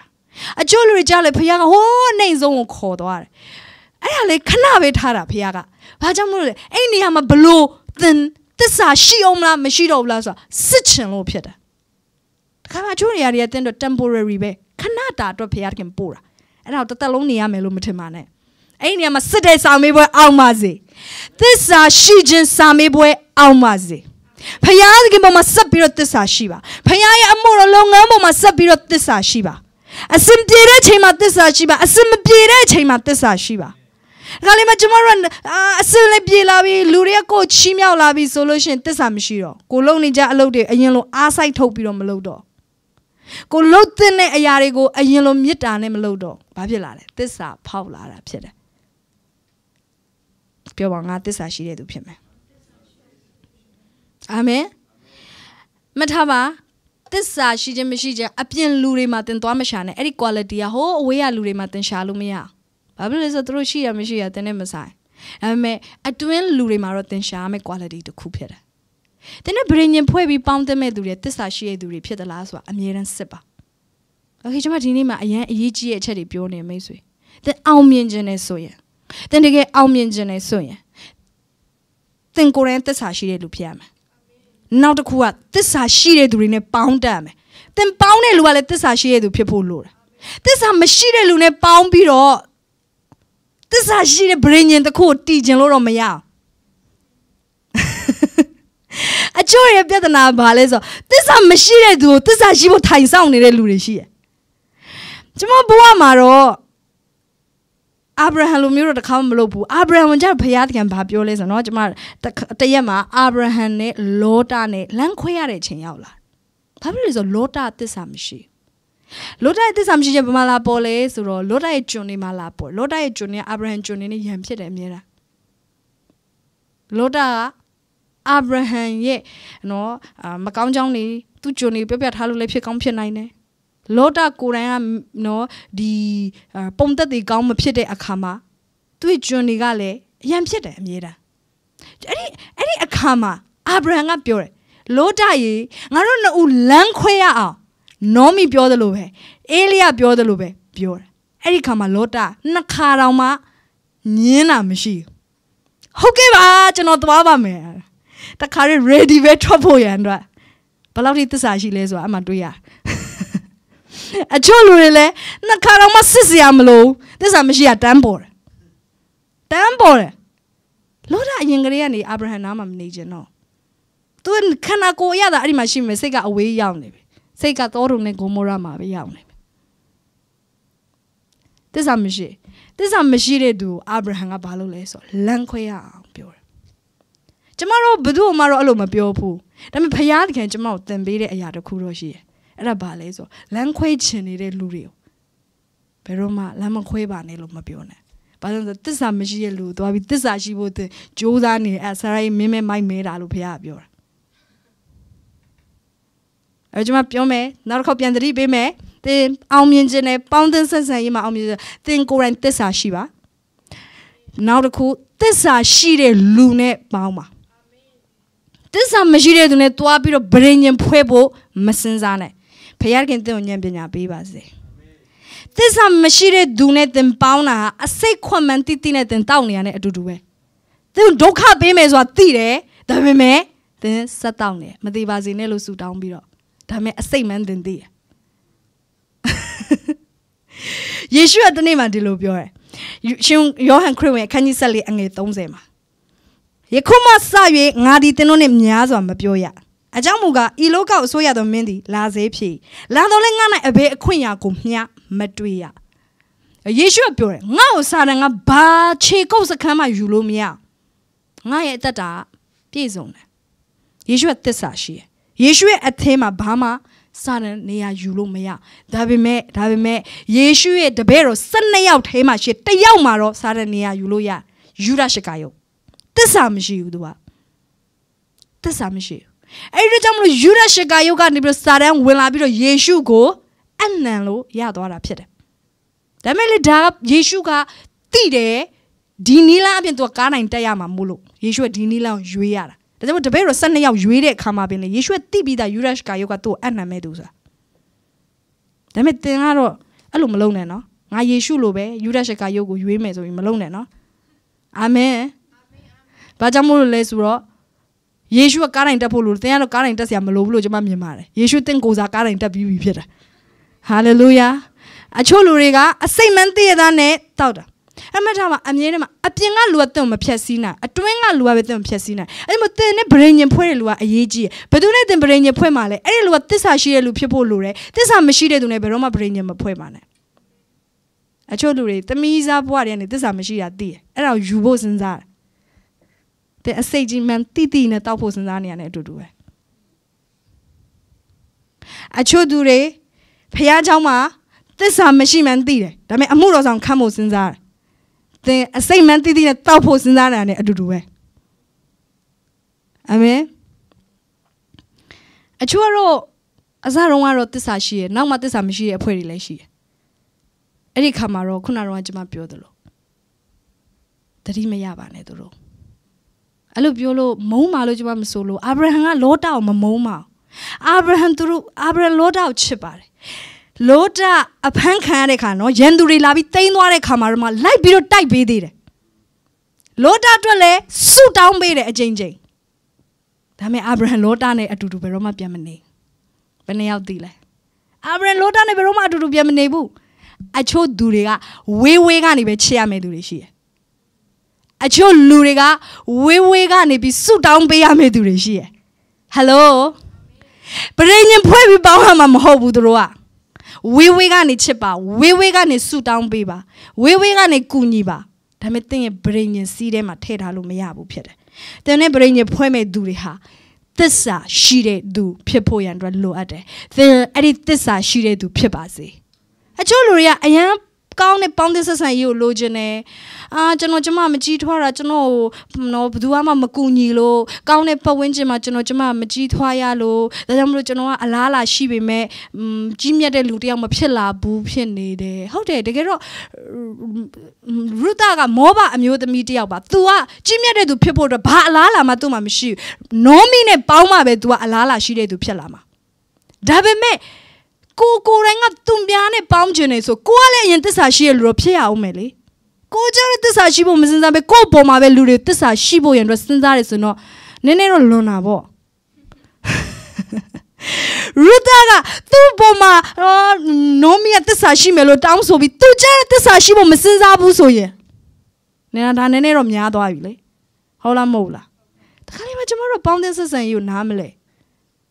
ပေါင်းတဲ့ဆက်ဆံရေးဆိုတာအမြဲတမ်းနှစ်ဖက်လို့တယ် သင်ကြီးမြတ်တဲ့သူတယောက်ဖြစ်ချင်တယ်ဆိုကောင်းမွန်တဲ့ environment လိုတယ်သင်ကိုယ်တိုင်ကလည်းအဲ့ဒီ environment မှာသစ္စာရှိရှိနေခြင်းတဲ့သူဖြစ်ဖို့လိုတယ်အချို့လူတွေအမြင့်တင်ပေးတာအေးတယ်လို့ခံစားပြီးခုံစင်းတဲ့အဖွဲ့တွေရှိတယ်အဲ့ဒီပတ်ဝန်းကျင်မှာသစ္စာရှိရှိမြဲအောင်မနေနိုင်တဲ့အဖွဲ့တွေရှိတယ်ပြောပါငါသစ္စာရှိရှိနဲ့နေမယ်အာမင်ဟာလေလုယာသစ္စာမရှိတဲ့သူတွေကိုပရိညင်မဖွဲ့ပါနဲ့ မျက်နှာနှစ်ခုနဲ့လူတွေရှေ့တစ်မျိုးနောက်တစ်မျိုးကျမတို့လို့မလုပ်တတ်ဒါပေမဲ့ချို့ကလုပ်တတ်တယ်တကယ်အရင်ခွန်ရတယ်နော်မကွေရကြရလဲကိုသူ့အတင်းပြောရတယ်သူပဲရှေ့မှာတစ်မျိုးကွေရမှာတစ်မျိုးမျက်နှာနှစ်ခုရှာနှစ်ခု connection မရှိနေတဲ့သူတွေနဲ့ပြင်ညမဖွဲ့ပါနဲ့ hallelujah ဒီနေ့မှာကျွန်မတင်ပညာ ဖခင်ခင်ပေးခြင်းနဲ့ရူတာဝတ္ထုရဲ့ပညာကိုပြောပြနေတာဖြစ်တယ်ကြီးမြတ်တဲ့အမှုတွေလုပ်ဖို့ရန်အတွက်သစ္စာရှိတဲ့လူတွေလိုတယ်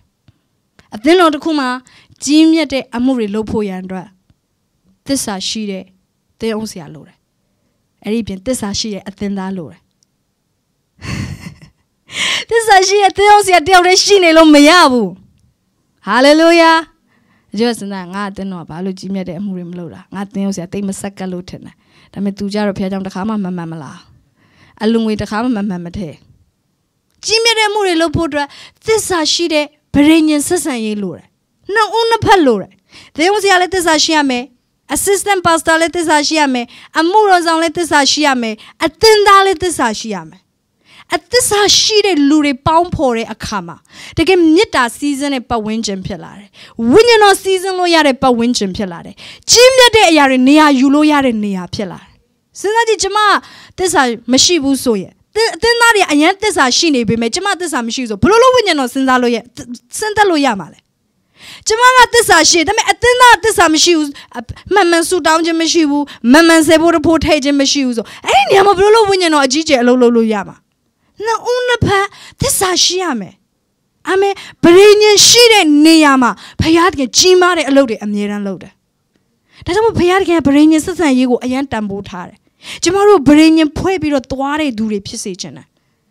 ဒီမှာရှင်ညီကိုမောင်မတွေအသင်းတော်နဲ့ဗရိညင်ဖွဲ့ပြီးတော့သွားပါဟာလေလုယာဘောင်းတဲ့ဆက်ဆံရေးတွေမှာဗရိညင်ဖွဲ့ရမယ့်သူတွေကဘယ်သူတွေလဲဆိုတာသိအောင်လုပ်ပါ ကျမမကျမဗရိညင်ဖွဲ့ပေါင်းတဲ့သူတွေရှိတယ်ကျမရဲ့ဝိညာဉ်ခေါင်းဆောင်တွေကျမဗရိညင်နဲ့ပေါင်းကျမခံစားချက်နဲ့ပေါင်းတာမဟုတ်ခံစားချက်ကအမြဲတမ်းအတက်အကျရှိတယ်ဒါဗရိညင်ဆိုပြောင်းလဲလို့မရဘူးဘာလို့လဲဆိုယေရှုကအဲ့ဒီအလဲမှာရှိနေတဲ့အတွက်တဲ့အိမ်အောင်ပြုတ်တယ်လို့ပဲအိမ်အောင်ပြုတ်တဲ့ခါဒီနေ့မှာငါမိမငါကြည့်လို့တိတ်မရအောင်ဆိုကွဲလိုက်လို့ရလားမရဘူးငါ့ကိုဒီနေ့မှာငါယောက်ျားအော်တယ်ငါကွဲလိုက်တော့မယ်ရလားမရအောင်ခံစားချက်နဲ့သွားလို့မရအဲ့ဒီအလေမှာယေရှုရှိနေတယ်ဆိုတော့အသိနဲ့သွားရတာဖြစ်တယ် အာမင်ဒီနေ့ဒီလိုပဲသင်ဘသူတွေနဲ့ဗရင်ညဖွဲ့มาလဲအဲ့ဒီသူတွေနဲ့သင်ဗရင်ညဖွဲ့ပြီဆိုရင်ဖြတ်လို့မရအောင်အမြဲတမ်းဆက်သွားဖို့ရန်အတွက်လိုတယ်ဟာလေလုယာအာမင်တဲ့အသင်းတော်နဲ့လေဗရင်ညဖွဲ့တယ်ဆိုတာဒီတိုင်းပဲ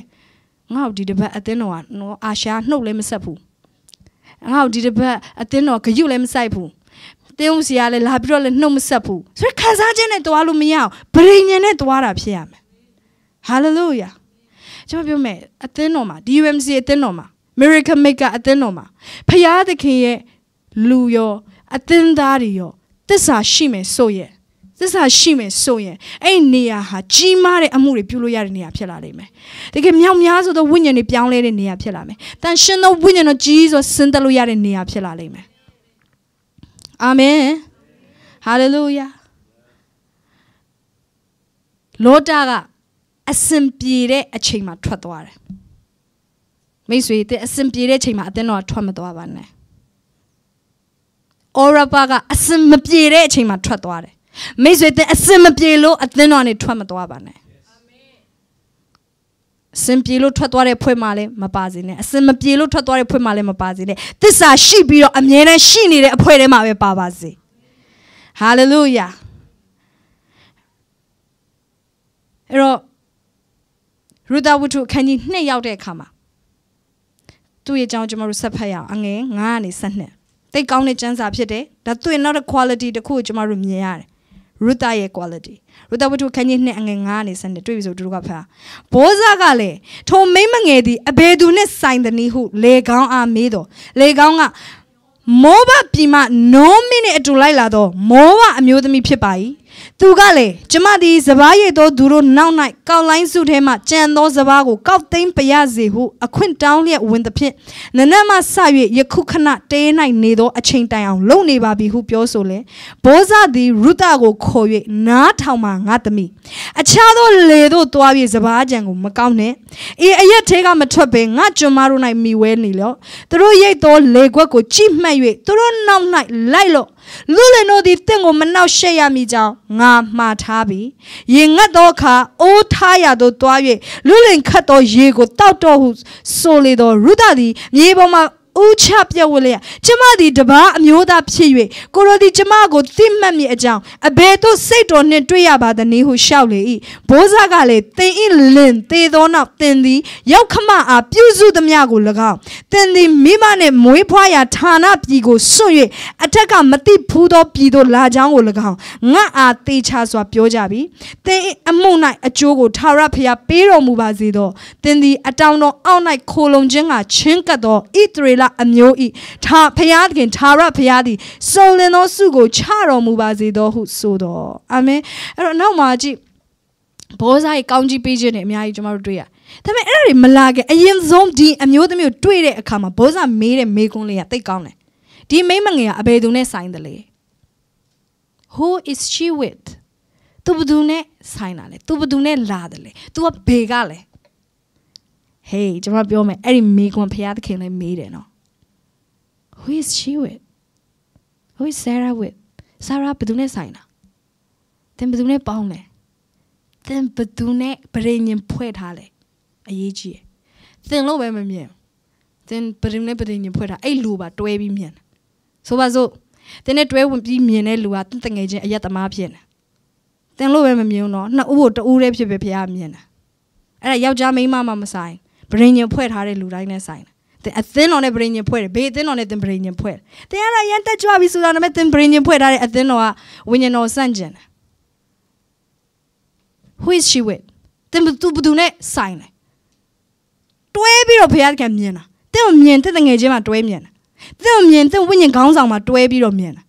တင်ကိုမြင်ရင်တင်ဗြိဉ္ဉ်ဖွဲ့ထားတဲ့သူအဖွဲ့အစည်းပါတွဲပြီးတော့မြင်တာဘုရားဘောဇာအဲ့တိုင်းမမြင်တာ तू ဘသူနဲ့ဆိုင်လဲ ဘလို့လို့ငါလေခွက်ထဲရောက်တာငါလေခွက်ထဲရောက်ရအောင် तू ကငါနဲ့ဘာဆိုင်လဲငါအမျိုးတယောက်ယောက်နဲ့ဆိုင်နေသူလားဟုတ်တယ်နောမီကသူ့အမျိုးဖြစ်တယ်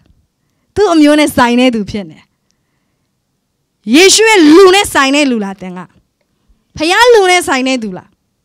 ကျမမြင်တဲ့အခါဖခင်ကကျမကိုပဲမမြင်ကျမဝိညာဉ်ခေါင်းဆောင်လေးပါတွဲမြင် စာရန်လည်းဒီတိုင်းပဲကျမကိုမြင်တဲ့အခါဒီတိုင်းပဲလာကြည့်လို့မရအောင်စာရန်ကိုကြည့်လို့ရှိရင်ကျမရဲ့နောက်ကဝိညာဉ်ဖခင်နေဝိညာဉ်မိခင်နေဖခင်မြင်တယ်စာရန်မြင်တယ် hallelujah ဒီ principle ကျမတို့ဒီမှာမြင်အဘယ်သူနဲ့ဆိုင်တယ်လဲလေကောင်းကွက်တိပြောတယ်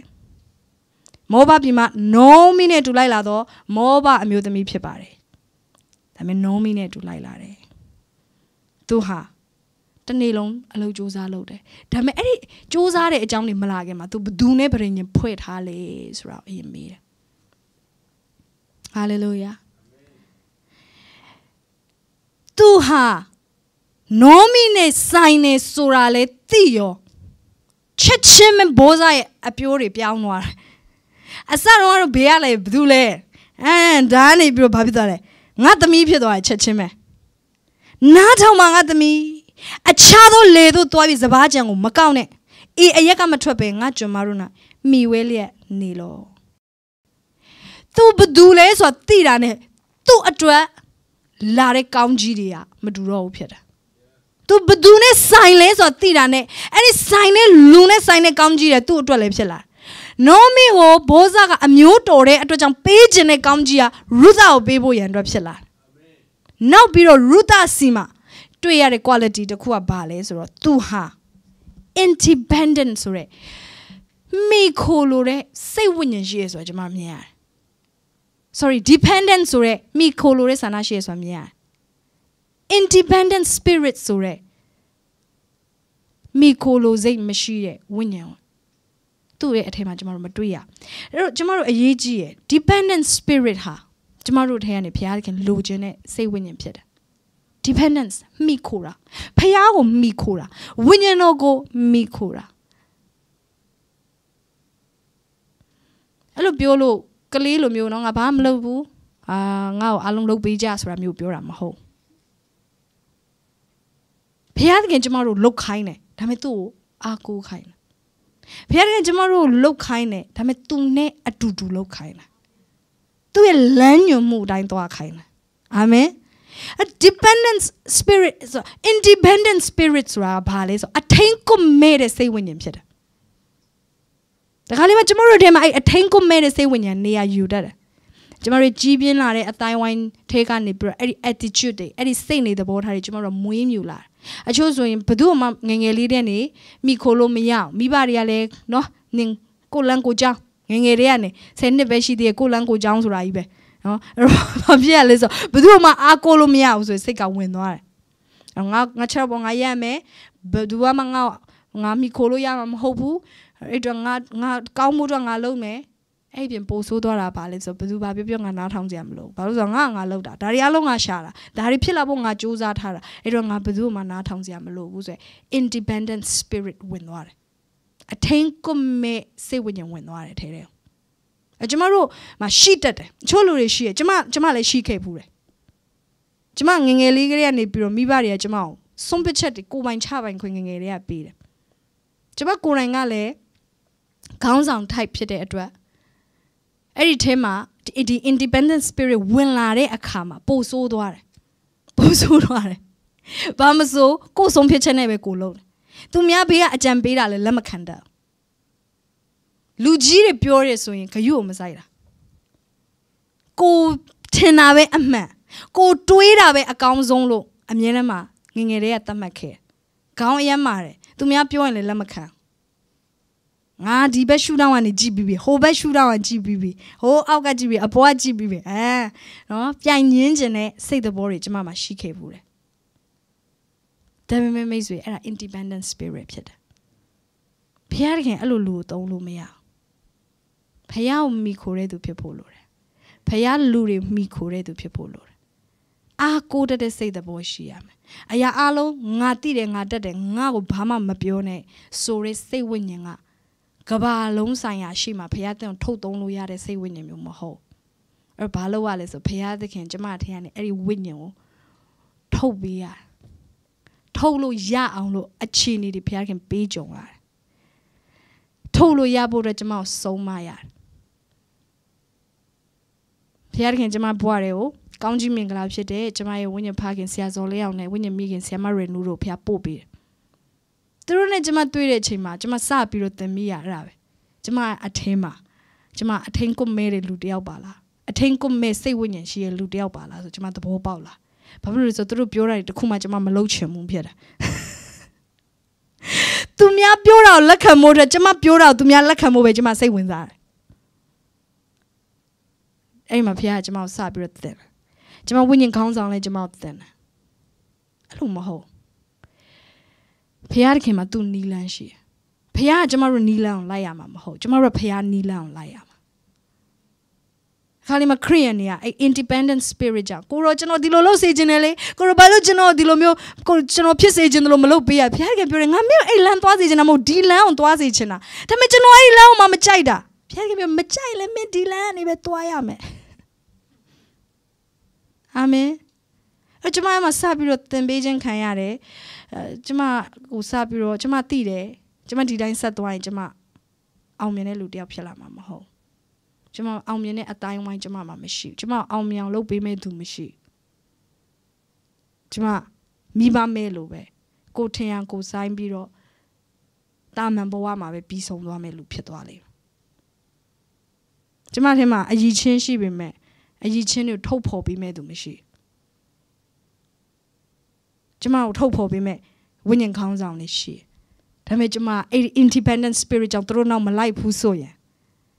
ကျမတာမန်ဘဝမှာပဲပြီးသွားမှာရူတာအကေလို့နောမီကိုအာမကိုဘူးဆိုရင်မောဘပြီးမှာပဲပြီးသွားမှာတာမန်ဘဝမှာပဲပြီးသွားမှာဒါပေမဲ့နောမီကိုသူအာကိုဖို့ဆုံးဖြတ်တဲ့အတွက် နောမီနောက်ကိုသူလိုက်ဖို့ဆုံးဖြတ်တဲ့အတွက်ငါထင်ရငါဆိုင်မယ်ဆိုတဲ့စိတ်နဲ့မဟုတ်တော့ကျမကိုသင်ပေးပါကျမဘေးလန်းကိုသွားရမလဲပြောပေးပါမှားတာတွေဖော်ပြပေးပါရှောင်တဲ့နာတွေပြောပြပေးပါဖခင်ရဲ့လမ်းကဘာလဲသင်ပေးပါကျမလိုက်ချင်တယ်သင်ချင်တယ်နားထောင်ချင်တယ်ဟာလေလုယာ အဲအဲ့ဒီအဲ့ဒီစိတ်သူ့ရဲ့အထဲမှာရှိတဲ့အတွက်ကြောင့်မလို့သူကမြင့်မားတဲ့နေရာကိုသွားခွင့်ရတာဖြစ်တယ်ကျွန်မပြောမယ်လူတိုင်းကတော့မွေးကလေးကနေမတက်ဘူးဒါပေမဲ့တင်ယူတဲ့လူတွေကပဲတက်လာတာဖြစ်တယ်တင်ယူခြင်းစိတ်မရှိဘဲနဲ့ကိုထင်ရကိုဆိုင်မဲ့ငါထင်တာပဲအမှန်ငါလုပ်တာပဲကောင်းတယ်ငါတွေးတာပဲမှန်တယ်ဆိုရက်အတွေ့အခွန်နဲ့ကျမတို့သွားရင်ဒီတာမန်ဘဝမှာပဲကျမတို့ဆက်နေရလိမ့်မယ်ကြီးမြတ်တဲ့သူတွေနဲ့ပေါင်းလို့မရအောင် နားလည်မလားမသိညီကိုမောင်မတို့အချို့လူတွေကအထင်ကုန်မဲ့နေတယ်သူတို့ဘယ်သူမှမလေးစားဘူးသူတို့ကိုသူတို့ကလွဲလို့သူတို့ကိုသူတို့လေးစားတယ်ဘာမကျင်းတဲ့လူဘယ်သူမှမလေးစားဘယ်သူမှမမိခိုးဘူးဖျက်ကြောင်လာတယ်ဘယ်သူမှမိခိုးတာမရှိငါလုံးမငါစားငါဆူတောင်းမှငါရမှာငါငါဆူတောင်းလို့ရတာပဲအေးဒီဖွင့်လည်းရှိသေးတယ်ပြောပြမယ်နော်အဲ့ဒါ independent spirit ဖြစ်တယ် ငါငါဆူတောင်းလို့ရတယ်ဖះเจ้าနဲ့အတူတူဆူတောင်းစရာမလိုဘူးတဲ့ဖះเจ้า worship မှာပဲ worship လုပ်စရာမလိုဘူးငါငါ worship လုပ်ရင်ရတယ် independent spirit ဖြစ်တယ်အဲ့ဒါကျွန်မပြောမယ်နော် independent spirit ကအမြဲတမ်းမှာကိုဆူတောင်းခြင်းနဲ့အချိန်မှတောင်းမယ်ဖះเจ้าနဲ့အတူတောင်းစရာမလိုပါဘူး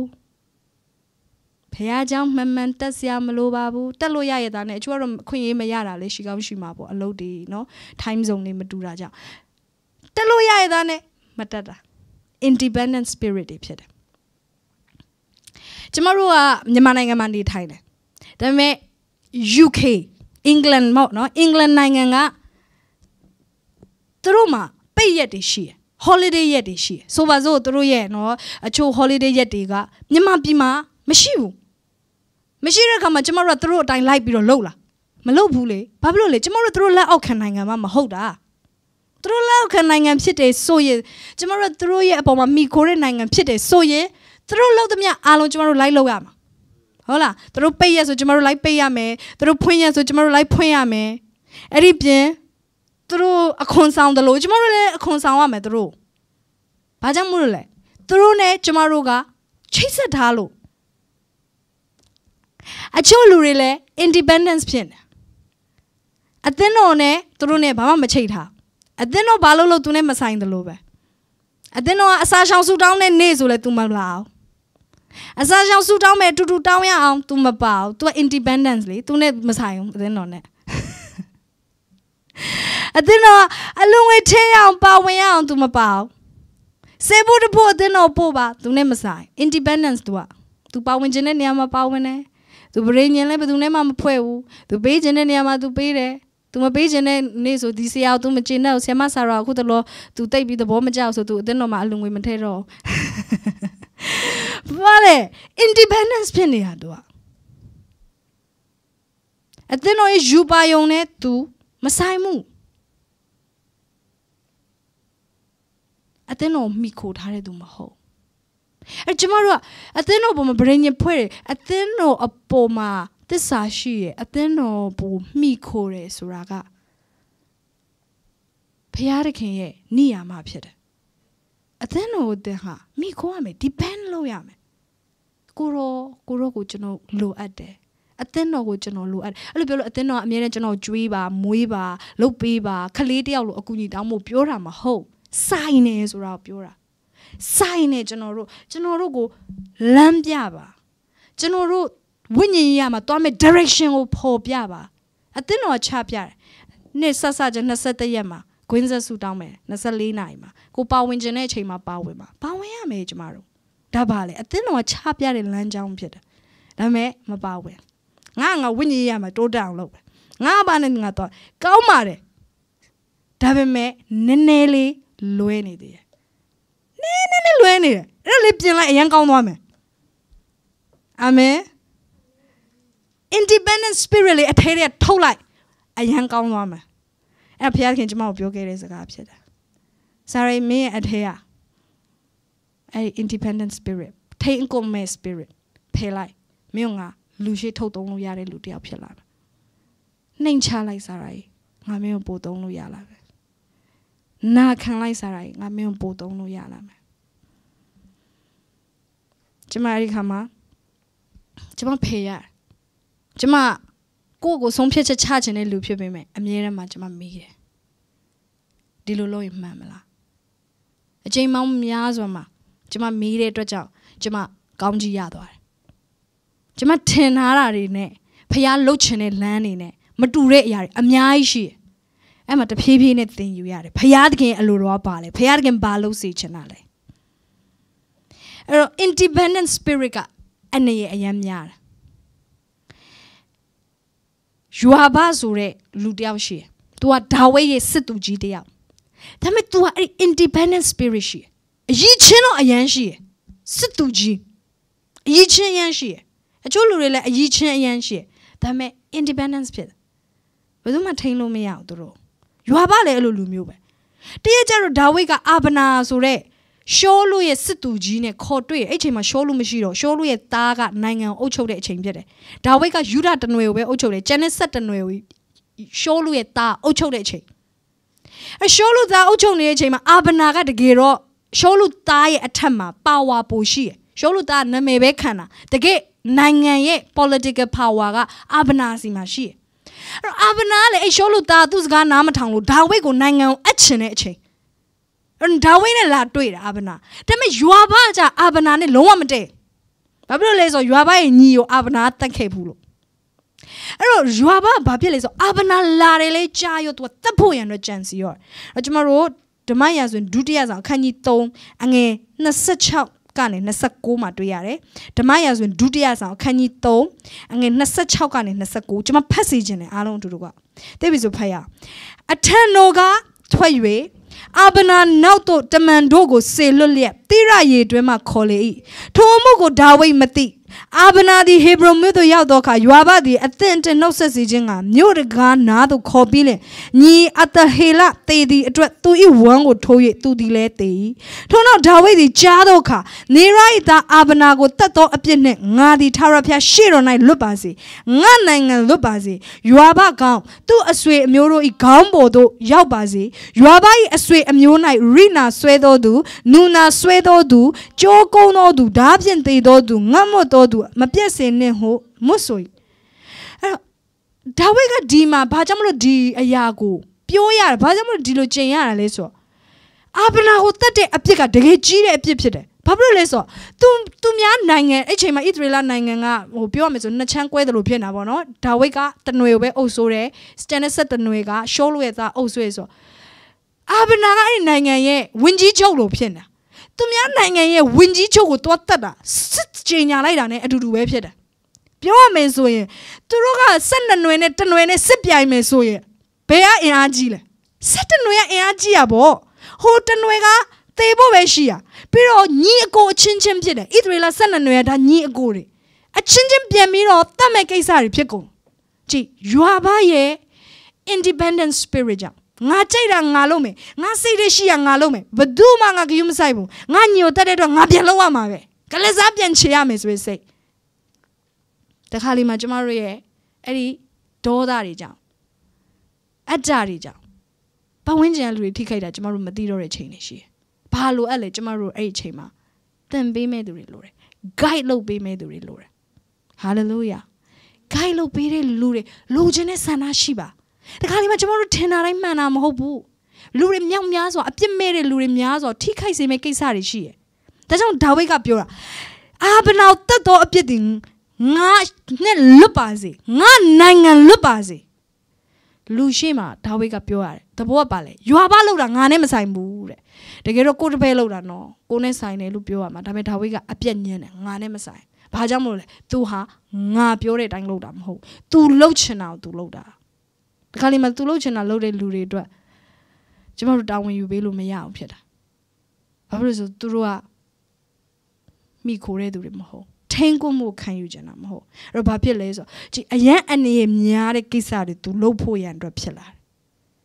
ဒါကြောင့်မို့ဓမ္မရာဆိုဒုတိယဆောင်အခန်းကြီး3အငယ်39မှာဒါဝိဒ်ကဘာပြောလဲဆိုရင်နော်အငယ်39မှာငါဒီဘိတ်သိက်ခံရ၍ရှင်ဘရင်ဖြစ်တော်လေယနေ့အားနေ ဇေရုသားဖြစ်သောဤသူတို့သည်ငါချက်လွန်၍အားကြီးကြ၏မတရားသဖြင့်ပြုသောသူကိုမိမိအပြစ်နှင့်အလျောက်သာရဖျားဆက်ပေးတော်မူစေတည်းဟုမိမိကျွန်တော်အားပြော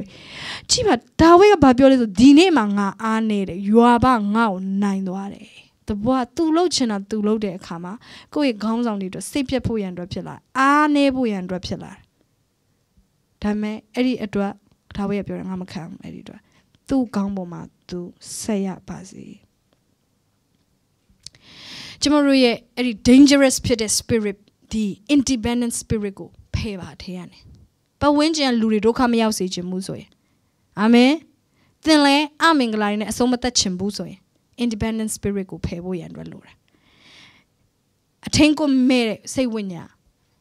အနေရများတယ်။ကိုယ်အတွက်အနေများတယ်ဖခင်နိုင်ငံတော်အတွက်အနေများတယ်အသင်းတော်အတွက်အနေများတယ် လူတွေအတွက်အနေများတယ်ကျွန်တော်တို့ကောင်းမယ်ထင်လို့လုပ်လိုက်တာပဲနည်းနည်းတော့မေးပါလားကောင်းမယ်ထင်တယ်ဆိုလဲအာမင်နည်းနည်းတော့တိုင်မင်ပါလားသမွေလဲဖယားသခင်နဲ့တိုင်မင်ပါလားတကြွဘာဘယ်သူနဲ့မှမတိုင်မင်ကိုကြိုက်တာကိုလုပ်လိုက်တာဖြစ်တယ်အဲ့တော့ရုတာကိုဘာကြောင့်မို့လို့ဘောဇာကမျက်နှာသာပေးလဲဆိုတော့ နံပါတ် तू ဘသူနဲ့ဆိုင်လဲဆိုတာ तू သိသွားတဲ့အတွက်နံပါတ်1အနေနဲ့ तू ဟာ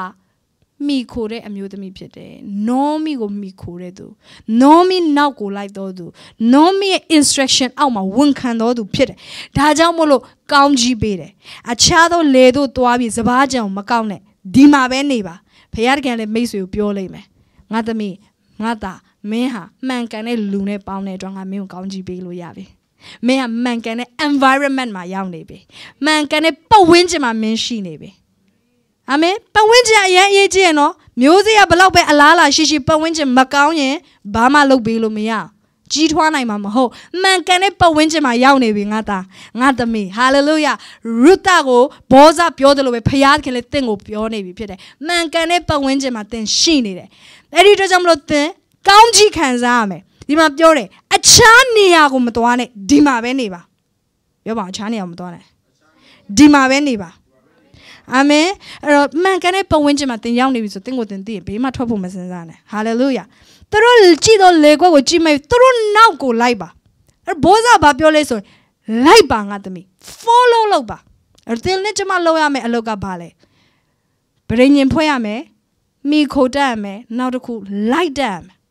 တခါလေမှကျမတို့ကအရှိရလုတ်ပြပေးမယ်ကျမတို့ကလိုက်ပြီးတော့မလုတ်ချင်တဲ့သူတွေရှိတယ်ဖျားတကယ်ကျမတို့သင်ပေးခြင်းပေမဲ့ကျမတို့ကလိုက်ပြီးတော့မလုပ်ချင်ယုံကြည်ခြင်းနဲ့ရှေ့ကနေခေါင်းဆောင်တွေထားပြပေမဲ့ကျမတို့ကလိုက်မလုပ်ချင်အသင်းတော်နဲ့ယုံကြည်ခြင်းနဲ့ဆိုင်တဲ့ကြေညာချက်တွေပြောထုတ်ခိုင်းပေမဲ့လိုက်မပြောချင်ဘူးယုံကြည်ခြင်းနဲ့ဆိုင်တဲ့ပေးကမ်းခြင်းတွေကြောင့်ဝင်ငှပေမဲ့လိုက်မပေးချင်ဘူးနောက်မလိုက်ချင်ရင်ဘာမှလုပ်ပေးလို့မရဘူး ကောင်းမွန်တဲ့ပတ်ဝန်းကျင်မှာသင်ရောက်နေတော့လဲပဲလက်တွေ့လိုက်မလုပ်ချင်ရင်သင်မတိုးတက်နိုင်ဘူးဟယ်လိုပြောပါငါလိုက်လို့မယ်ငါလက်တွေ့လိုက်လို့မယ်အာမင်ရူတာ instruction ပေးတယ်ဘောဇာကလိုက်လို့ပါသင်ကဘသူမှမနှောက်ရှက်ရအောင်မိစေတိလားသင်ဟာဗရိညင်ဖွဲ့တတ်တယ်မိကိုတတ်တယ်လိုက်လို့တတ်တယ်ဆိုရင်သင်ကဘသူမှထိခိုက်လို့မရတော့ သင်ဟာအောင်မြင်ဖို့ရန်အတွက်ဖခင်ကသတ်မှတ်လိုက်ပြီးဖြစ်တယ်ဟာလေလုယာသင်ရေငတ်ရင်အိုးထဲမှာရှိတယ်သင်လိုအပ်တဲ့အရာအလုံးသင်ကိုပြင်ဆင်ပေးထားတယ်ဝိညာဉ်ရေးခန်း6ရဲ့ဖခင်သင်တော်ဝိညာဉ်တော်ကိုပြင်ဆင်ပေးထားတယ်ဒါကြောင့်မို့ကျမရဲ့ဘဝအသက်တာထဲမှာကျမအရင်လုံခြုံတယ်လို့ခံစားရတယ်ကျမအားနေတိုင်းမှာဖခင်ဝိညာဉ်တော်ကျမရဲ့ခေါင်းဆောင်နေအဖြစ်ကျမကိုဖြည့်ပေးတယ်ဟာလို့လေကျမမှန်ကန်တဲ့ပတ်ဝန်းကျင်မှာနေထိုင်တဲ့အတွက်မိတ်ဆွေသင်ကိုလည်းကျမမှန်ကန်တဲ့ပတ်ဝန်းကျင်မှာနေထိုင်စေခြင်းနဲ့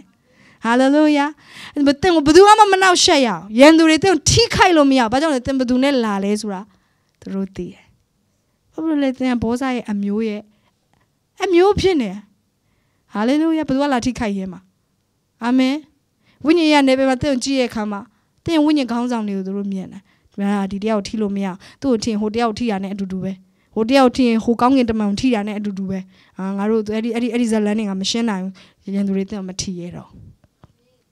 ဟာလေလုယာပြောပါငါကိုယ်ကာခြင်းခံရတယ်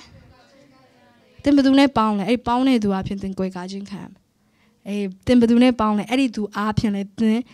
မြို့ရိုးပြိုပြတ်နိုင်တယ်အချို့လူတွေကတကားကြီးတွေဖွင့်ထားတာစာတန်ဝင်မှုအဲ့ဒီလူနဲ့တပေါင်းတော့သင်မှာစာတန်ဝင်မှုတကားဖွင့်လိုက်တဲ့လူဖြစ်သွားအာမင် အဲ့ဘောဇာပြောတယ်တင်းဤလင်သေးသောနောက်တင်းဒီရောက်ခမအပြုစုသမျှကို၎င်းတင်းဒီမိဘနဲ့မွေးဖွားရဌာနပြည်ကိုစွန့်၍အထက်ကမတိဘူးသောပြည်သို့လာကြောင်းကို၎င်းငါအားသေချာစွာပြောကြပြီဖခင်တခင်ကသိတယ်သင်ဘသူတွေကိုတစ္ဆာရှိနေလဲသင်ဘသူတွေကိုအဆက်အသွယ်ဖြတ်ခဲ့လဲသင်ဘာတွေကိုလုံနေလဲ ဘသူတွေကိုမှီခိုပြီးဘသူစကားတွေနားထောင်နေလဲသင် independent spirit တွေကလွတ်မြောက်ပြီလားဖခင်သိတယ်အဲ့ဒီအတွက်ကြောင့်မလို့သင်ကိုသူကောင်းချီးပေးလိမ့်မယ်သင်ဒီအတောင်တော်အောက်၌ခိုလုံခြင်းကချင်းကပ်တော့မိစေသင်ခိုလုံတတ်တဲ့သူဖြစ်ရလား do you take covering covering ယူတတ်ဖို့လိုတယ်ဝိညာဉ်ရမှာ cover ယူတတ်ဖို့လိုတယ်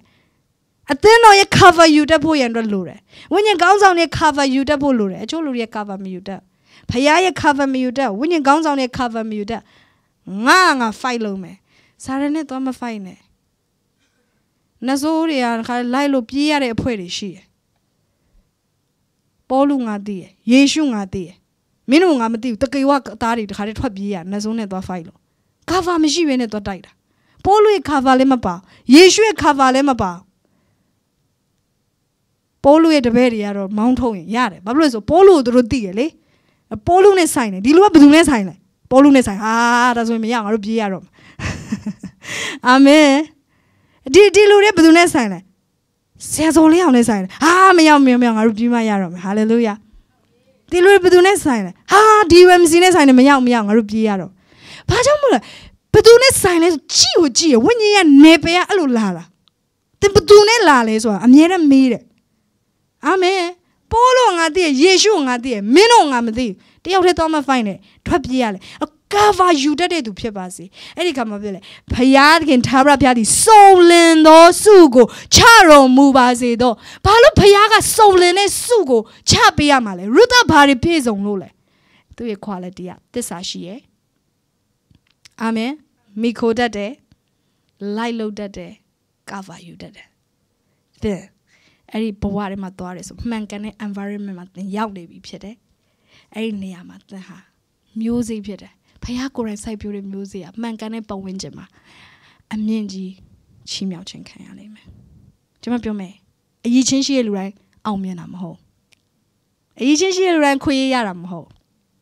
နေရာမှန်မှသင်ရှိအခွင့်အရေးအမှန်နဲ့သင်စီရောက်လာလိမ့်မယ်အချိန်မှန်မှနေရာမှန်လူမှန်နေနဲ့ပေါင်းဖော်တဲ့သူဖြစ်ပါစေလုံရက်အမှန်နေလုံနေတဲ့သူဖြစ်ပါစေသင်ဟာကြီးမြတ်တဲ့သူတွေနဲ့အတူ နေရာကြရတဲ့အခွင့်ဘုရားသခင်ပေးလိုက်အားလုံးတူတူကဆူတောင်းရအောင်